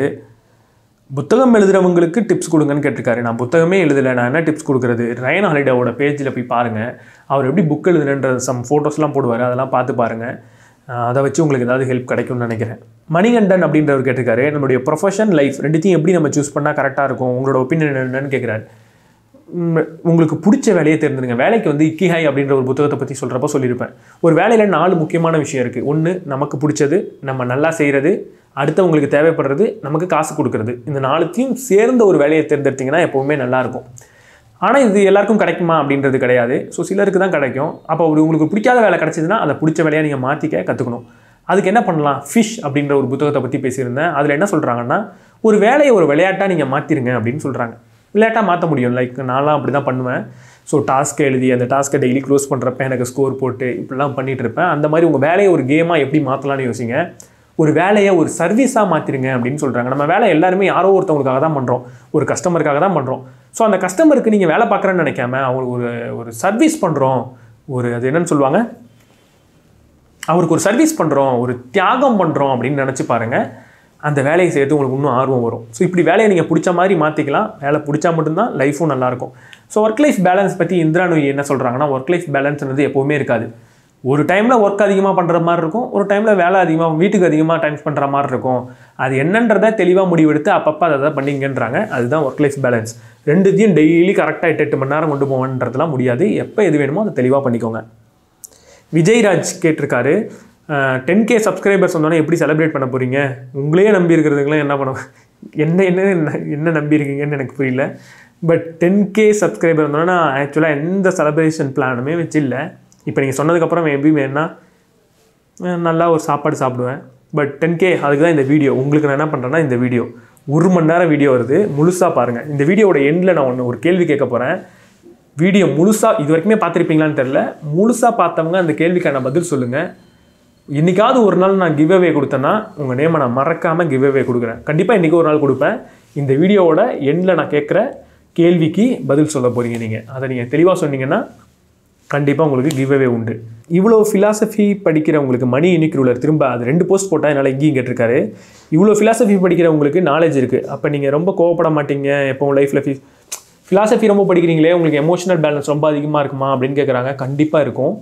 லைக் அதிகமாக இருக்குது அப்படின்னா உடனே புத்தர் மாதிரின்னு சொல்லிக்க வரல. ஃபிலாசபிலாம் படிக்கிறதுக்கு முன்னாடி நான் எப்படி இருந்தனோ அதிலிருந்து இம்ப்ரூவ் ஆயிருக்கேன் அப்படின்னு சொல்லலாம். ஸோ ஃபிலாசபி படிக்கிறது எனக்கு இந்த எமோஷனல் ஸ்டெபிலிட்டிக்கு யூஸ் ஆகுது. ஸோ எனக்கு கோவம் வரப்ப நான் என்ன பண்ணுவேன்? என்னை யாராவது ஒருத்தவங்க ரூடாக பிஹேவ் பண்ணால் என்ன பண்ணுவேன் அப்படின்றதெல்லாம் தான் வீடியோவில் போட்டிருக்கேன். ஹண்ட்ரட் பர்சன்ட் அதை பண்ண முடியாது. பட் நிறைய நேரத்தில் அப்படி தான் நான் பண்ணுறேன் அதை பண்ணணும்னு நினைக்கிறேன். ஸோ அது யூஸ்ஃபுல்லாக தான் இருக்கும். ஃபிலாசபி நீங்களும் படிக்கலாம். நீங்கள் எந்த காலேஜ் ப்ரோ உங்களோட எஜுகேஷனல் ஸ்டேட்டஸ் என்னன்னு கேட்டிருக்காங்க. நான் வந்து பாண்டிச்சேரியில் பாண்டிச்சேரி இன்ஜினியரிங் காலேஜ்னு ஒரு கவர்மெண்ட் காலேஜ் இருக்குது அங்கே படித்தேன் மெக்கானிக்கல் இன்ஜினியரிங் படித்தேன் அதுக்கப்புறம் ஒர்க்குக்கு வந்தேன். ஒர்க்குக்கு வந்துட்டு இப்போ வந்து எம்பிஏவும் பேரலாக டிஸ்டன்ஸ் எஜுகேஷனில் பண்ணிகிட்ருக்கேன் அதான் என்னோடய எஜுகேஷன் பட் ஆனால் அதை விட நம்ம நான் படிக்கிற புக்ஸ் தான் என்னோட ஆக்சுவல் எஜுகேஷனாக இருக்குது அதுதான் எனக்கு யூஸ்ஃபுல்லாக இருக்குது Arun Tariq RV in simulation அப்படின்னு கேட்டார். ரொம்ப தேங்க்ஸ் இந்த கேள்வி கேட்டதுக்கு. அதனால தான் இந்த வீடியோ இவ்வளோ பெருசாக வந்திருக்கு. KV Bharat to you follow Max Kleiman கோ எனக்கு யாருன்னே தெரில பட் ரொம்ப ரொம்ப தேங்க்ஸ் எனக்கு தெரியாத இன்ஃபர்மேஷன் ஏதோ ஒன்று சொல்லியிருக்கீங்க. கூகுள் பண்ணி பார்த்துட்டு அவர் யாருன்னு சொல்கிறேன் இப்பயே கூகுள் பண்ணிடுறேன். எனக்கு ஒருவேளை தெரிஞ்சிருக்கா அப்படின்றத பார்த்துடுறேன். ஸோ ஓகே அவர் வந்து ஒரு எஜுகேஷனல் வீடியோஸ் இந்த மாதிரிலாம் பண்ணிகிட்டு இருக்காரா? ஓகே நான் இதுக்கப்புறம் அவரை ஃபாலோ பண்ணுறேன் அவரோட கண்டென்ட் எனக்கு பிடிச்சதுன்னா பண்ணுறேன் அண்ட் இன்னொரு கேள்வி இப்போ இதை சொன்னதுனால நிறைய யூடியூபர்ஸ் இருக்காங்க. சில யூடியூப் நான் யூஸ்வலாக அடுத்தவங்களோட வீடியோ பார்த்து அப்படியே பண்ணணும்னு நினைக்க மாட்டேன். ஏன்னா என்னோட என்னோட அந்த ஸ்டைல் போயிடுமோன்னு ஒரு பயம் இருக்குது போயிடும் ஆக்சுவலாக நான். இன்னொருத்தவங்க பேசுகிறத பார்த்து நல்லா இருக்கு அப்படின்னு நினச்சேன்னா அதுக்கப்புறம் அதே மாதிரியே நான் பேசிகிட்டு இருப்பேன். அதே மாதிரி ஸ்லோவாக பேசினா ஸ்லோ வேகமாக பேசினா வேகமாக ஏதாவது நடுவில் ஜோக் சொன்னால் அதை சொல்லணும் அப்படின்னு நினப்பேன். ஸோ அடுத்தவங்கள பற்றி ஈஸியாக இன்ஸ்பயர் ஆகி அதே மாதிரி பேசுவேன். அதனாலே அடுத்தவங்களை பற்றி பேசல. பட் இப்போ ரீசெண்டாக என்ன தோணுதுன்னா லைக் புக்ஸ் மட்டும் இல்லாமல் நிறைய டெட் டாக்ஸாக இருக்கட்டும் பாட்காஸ்ட்டாக இருக்கட்டும் இதெல்லாம் கேட்க இதிலலாம் நிறைய விஷயங்கள் இருக்கோ அதெல்லாம் நம்ம கேட்டு தமிழில் உங்களுக்கு சொல்லாமா? இல்லை நீங்களே அதெல்லாம் பார்த்துப்பேன். ஆல்ரெடி இருக்குது நீ எதுக்கு அதை சொல்கிற அப்படின்னு கேட்பீங்களான்னு தெரில ஸோ இந்த மாதிரி நான் இன்னொரு சேனலில் பார்த்து மோஸ்ட்லி நாட் தமிழ் சேனல் ஏதோ ஒரு இங்கிலீஷ் சேனலில் உங்களுக்கு ரீச் ஆகிறது கொஞ்சம் கஷ்டமாக இருக்கிற ஏதோ ஒரு வீடியோ பார்த்து கொஞ்சம் புரிஞ்சுக்கிட்டு கொஞ்சம் டைஜஸ்ட் பண்ணி என்னோட ஸ்டைலில் சொன்னால் உங்களுக்கு பிடிக்குமான்னு சொல்லுங்கள் சொன்னால் காப்பி கேட் அப்படின்ற ஒரு பிளேலிஸ்ட் ஸ்டார்ட் பண்ணிடுறேன். ஸோ ஆல்மோஸ்ட் வீடியோ முடிஞ்சிருச்சு. இந்த வீடியோவை வந்து கிட்டத்தட்ட ஒரு மணி நேரம் போயிருக்கும்னு நினைக்கிறேன். இவ்வளவு நேரம் இந்த வீடியோ பார்த்துருப்பீங்களா? அப்படின்றது ரொம்ப ரொம்ப ஆச்சரியம். இவ்வளோ நேரம் பார்த்துருக்கிறதுக்கு வாய்ப்பே இல்லை. நீங்கள் பார்த்துருக்க மாட்டீங்க அப்படின்னு நான் அசியூம் பண்ணிக்கிறேன். ஸோ நான் கேட்க போகிற கேள்வி என்னென்னா ஓகே இது டவல் இந்த டவலோட கலர் என்ன அப்படின்றத கமெண்ட் செக்ஷனில் பண்ணுங்கள் கமெண்ட் பண்ணிங்கன்னா நீங்கள் இந்த வீடியோ ஃபுல்லாக பார்த்துருக்கீங்க அப்படின்னு நான் எடுத்துக்கிறேன். ஒரு தீவிரமாக ஃபாலோ பண்ணுற ஒரு ஆள் அப்படின்னு நான் எடுத்துக்கிறேன். ஸோ சீக்கிரமாக நான் ஏதாவது ஒரு கிவ்அவே மோஸ்ட்லி புக்ஸ் தான் கொடுப்பேன். அந்த புக்ஸை உங்களுக்கு நான் ஃபஸ்ட்டு கிவ்அவேல உங்களுக்கு தான் கொடுக்க போகிறேன் ஸோ நீங்கள் கமெண்ட் பண்ணிவிட்டு அப்படியே மறந்துட்டு போயிடக்கூடாது. கமெண்ட் பண்ணிவிட்டு என்னோட இன்ஸ்டாகிராமோட கிருஷ்ணா கேஎஸ்கேன்னு இருக்கும் கீழே இருக்கும். அதில் வந்து நீங்கள் கமெண்ட் பண்ணதை ஸ்க்ரீன்ஷாட் அனுப்புங்க. உங்கள் கூட நான் எப்படி காண்டாக்டில் இருப்பேன். ஏன்னா நான் நாளைக்கே கொடுக்க போகிறதில்ல ஸோ கொடுக்குறப்ப நான் எப்படி வந்து உங்கள் கூட காண்டாக்டில் இருப்பேன் அப்படின்றது எனக்கு தெரியாது. ஸோ காண்டாக்டில் இருக்கிறதுக்காக இன்ஸ்டாகிராமில் போடுங்க. ஆர் அட்ரஸை மட்டும் உங்கள் நேம் அட்ரஸ் ஃபோன் நம்பரை எனக்கு இன்ஸ்டாகிராமில் அனுப்பிச்சி விட்ருங்க உடனே கொடுக்க மாட்டேன். கொஞ்சம் டைம் எடுத்து தான் கொடுப்பேன். மேபி அடுத்த ரெவன்யூ ஜென்ரேட் ஆகிறப்ப கொடுப்பேன். இல்லை திடீர்னு எனக்கு தோணுச்சுன்னா இப்போ கூட கொடுத்துருவேன். ஸோ எப்போ கொடுக்குறேன்னு தோணுதோ அப்போ கண்டிப்பாக உங்களுக்கு நான் கொடுப்பேன். கமெண்ட் பண்ணிவிட்டு ஸ்க்ரீன்ஷாட்டை எனக்கு இதில் அனுப்பிட்டு இன்ஸ்டாகிராமில் அனுப்பிச்சிட்டு ஒருவேளை இன்ஸ்டாகிராமில் ஆக்டிவாகவே நான் கடைசி வரைக்கும் இருப்பேன் அப்படின்ற ஆளாக இருந்தால் அனுப்பிச்சா போகிறோம் நான் எப்போ கொடுக்குறேனோ அப்போ உங்களை காண்டாக்ட் பண்ணுவேன். அப்படி இல்லைனா மோஸ்ட்லி உங்கள் அட்ரஸை எனக்கு அனுப்பிச்சிருங்க. உங்கள் அட்ரஸ் ஃபோன் நம்பர் இதை எனக்கு அனுப்பிடுங்க நான் உங்களுக்கு என்றைக்கு கிவ்அவே கொடுக்குறனோ அன்றைக்கி கட்டாயம் கொடுக்குறேன். ஓகே நீங்கள் கமெண்ட் போட்டுட்டு என்ன என்ன கமெண்ட் வேணால் போடுங்க. அதில் இந்த வார்த்தையும் சேர்த்துக்கோங்க. இதோட கலர் என்னன்றது. கலர் கரெக்டாக தான் தெரிஞ்சிருக்கும்னு நினைக்கிறேன். ஓகே இந்த வீடியோ இதோட முடிச்சுக்கலாம். இந்த வீடியோ நீங்கள் யாருக்கும் ஷேர் பண்ண வேணாம். ஷேர் பண்ணி அப்புறம் பைத்தியக்காரத்தனமாக ஏதோ பேசிகிட்டு இருக்கேன் அப்படின்னு நினச்சிட போகிறாங்க ஸோ இந்த வீடியோ ஷேர் பண்ண வேணாம். பட் லைக் பண்ணி விடுங்க. சப்ஸ்கிரைப் பண்ணல. புதுசாக உள்ளே வந்து இவ்வளோ நேரம் பார்த்துருந்தீங்கன்னா நீங்கள் கட்டாயம் சப்ஸ்கிரைப் பண்ணி ஆகணும். உங்களுக்கு என் கண்டென்ட் பிடிச்சிருக்கு அப்படின்னு அர்த்தம். So bye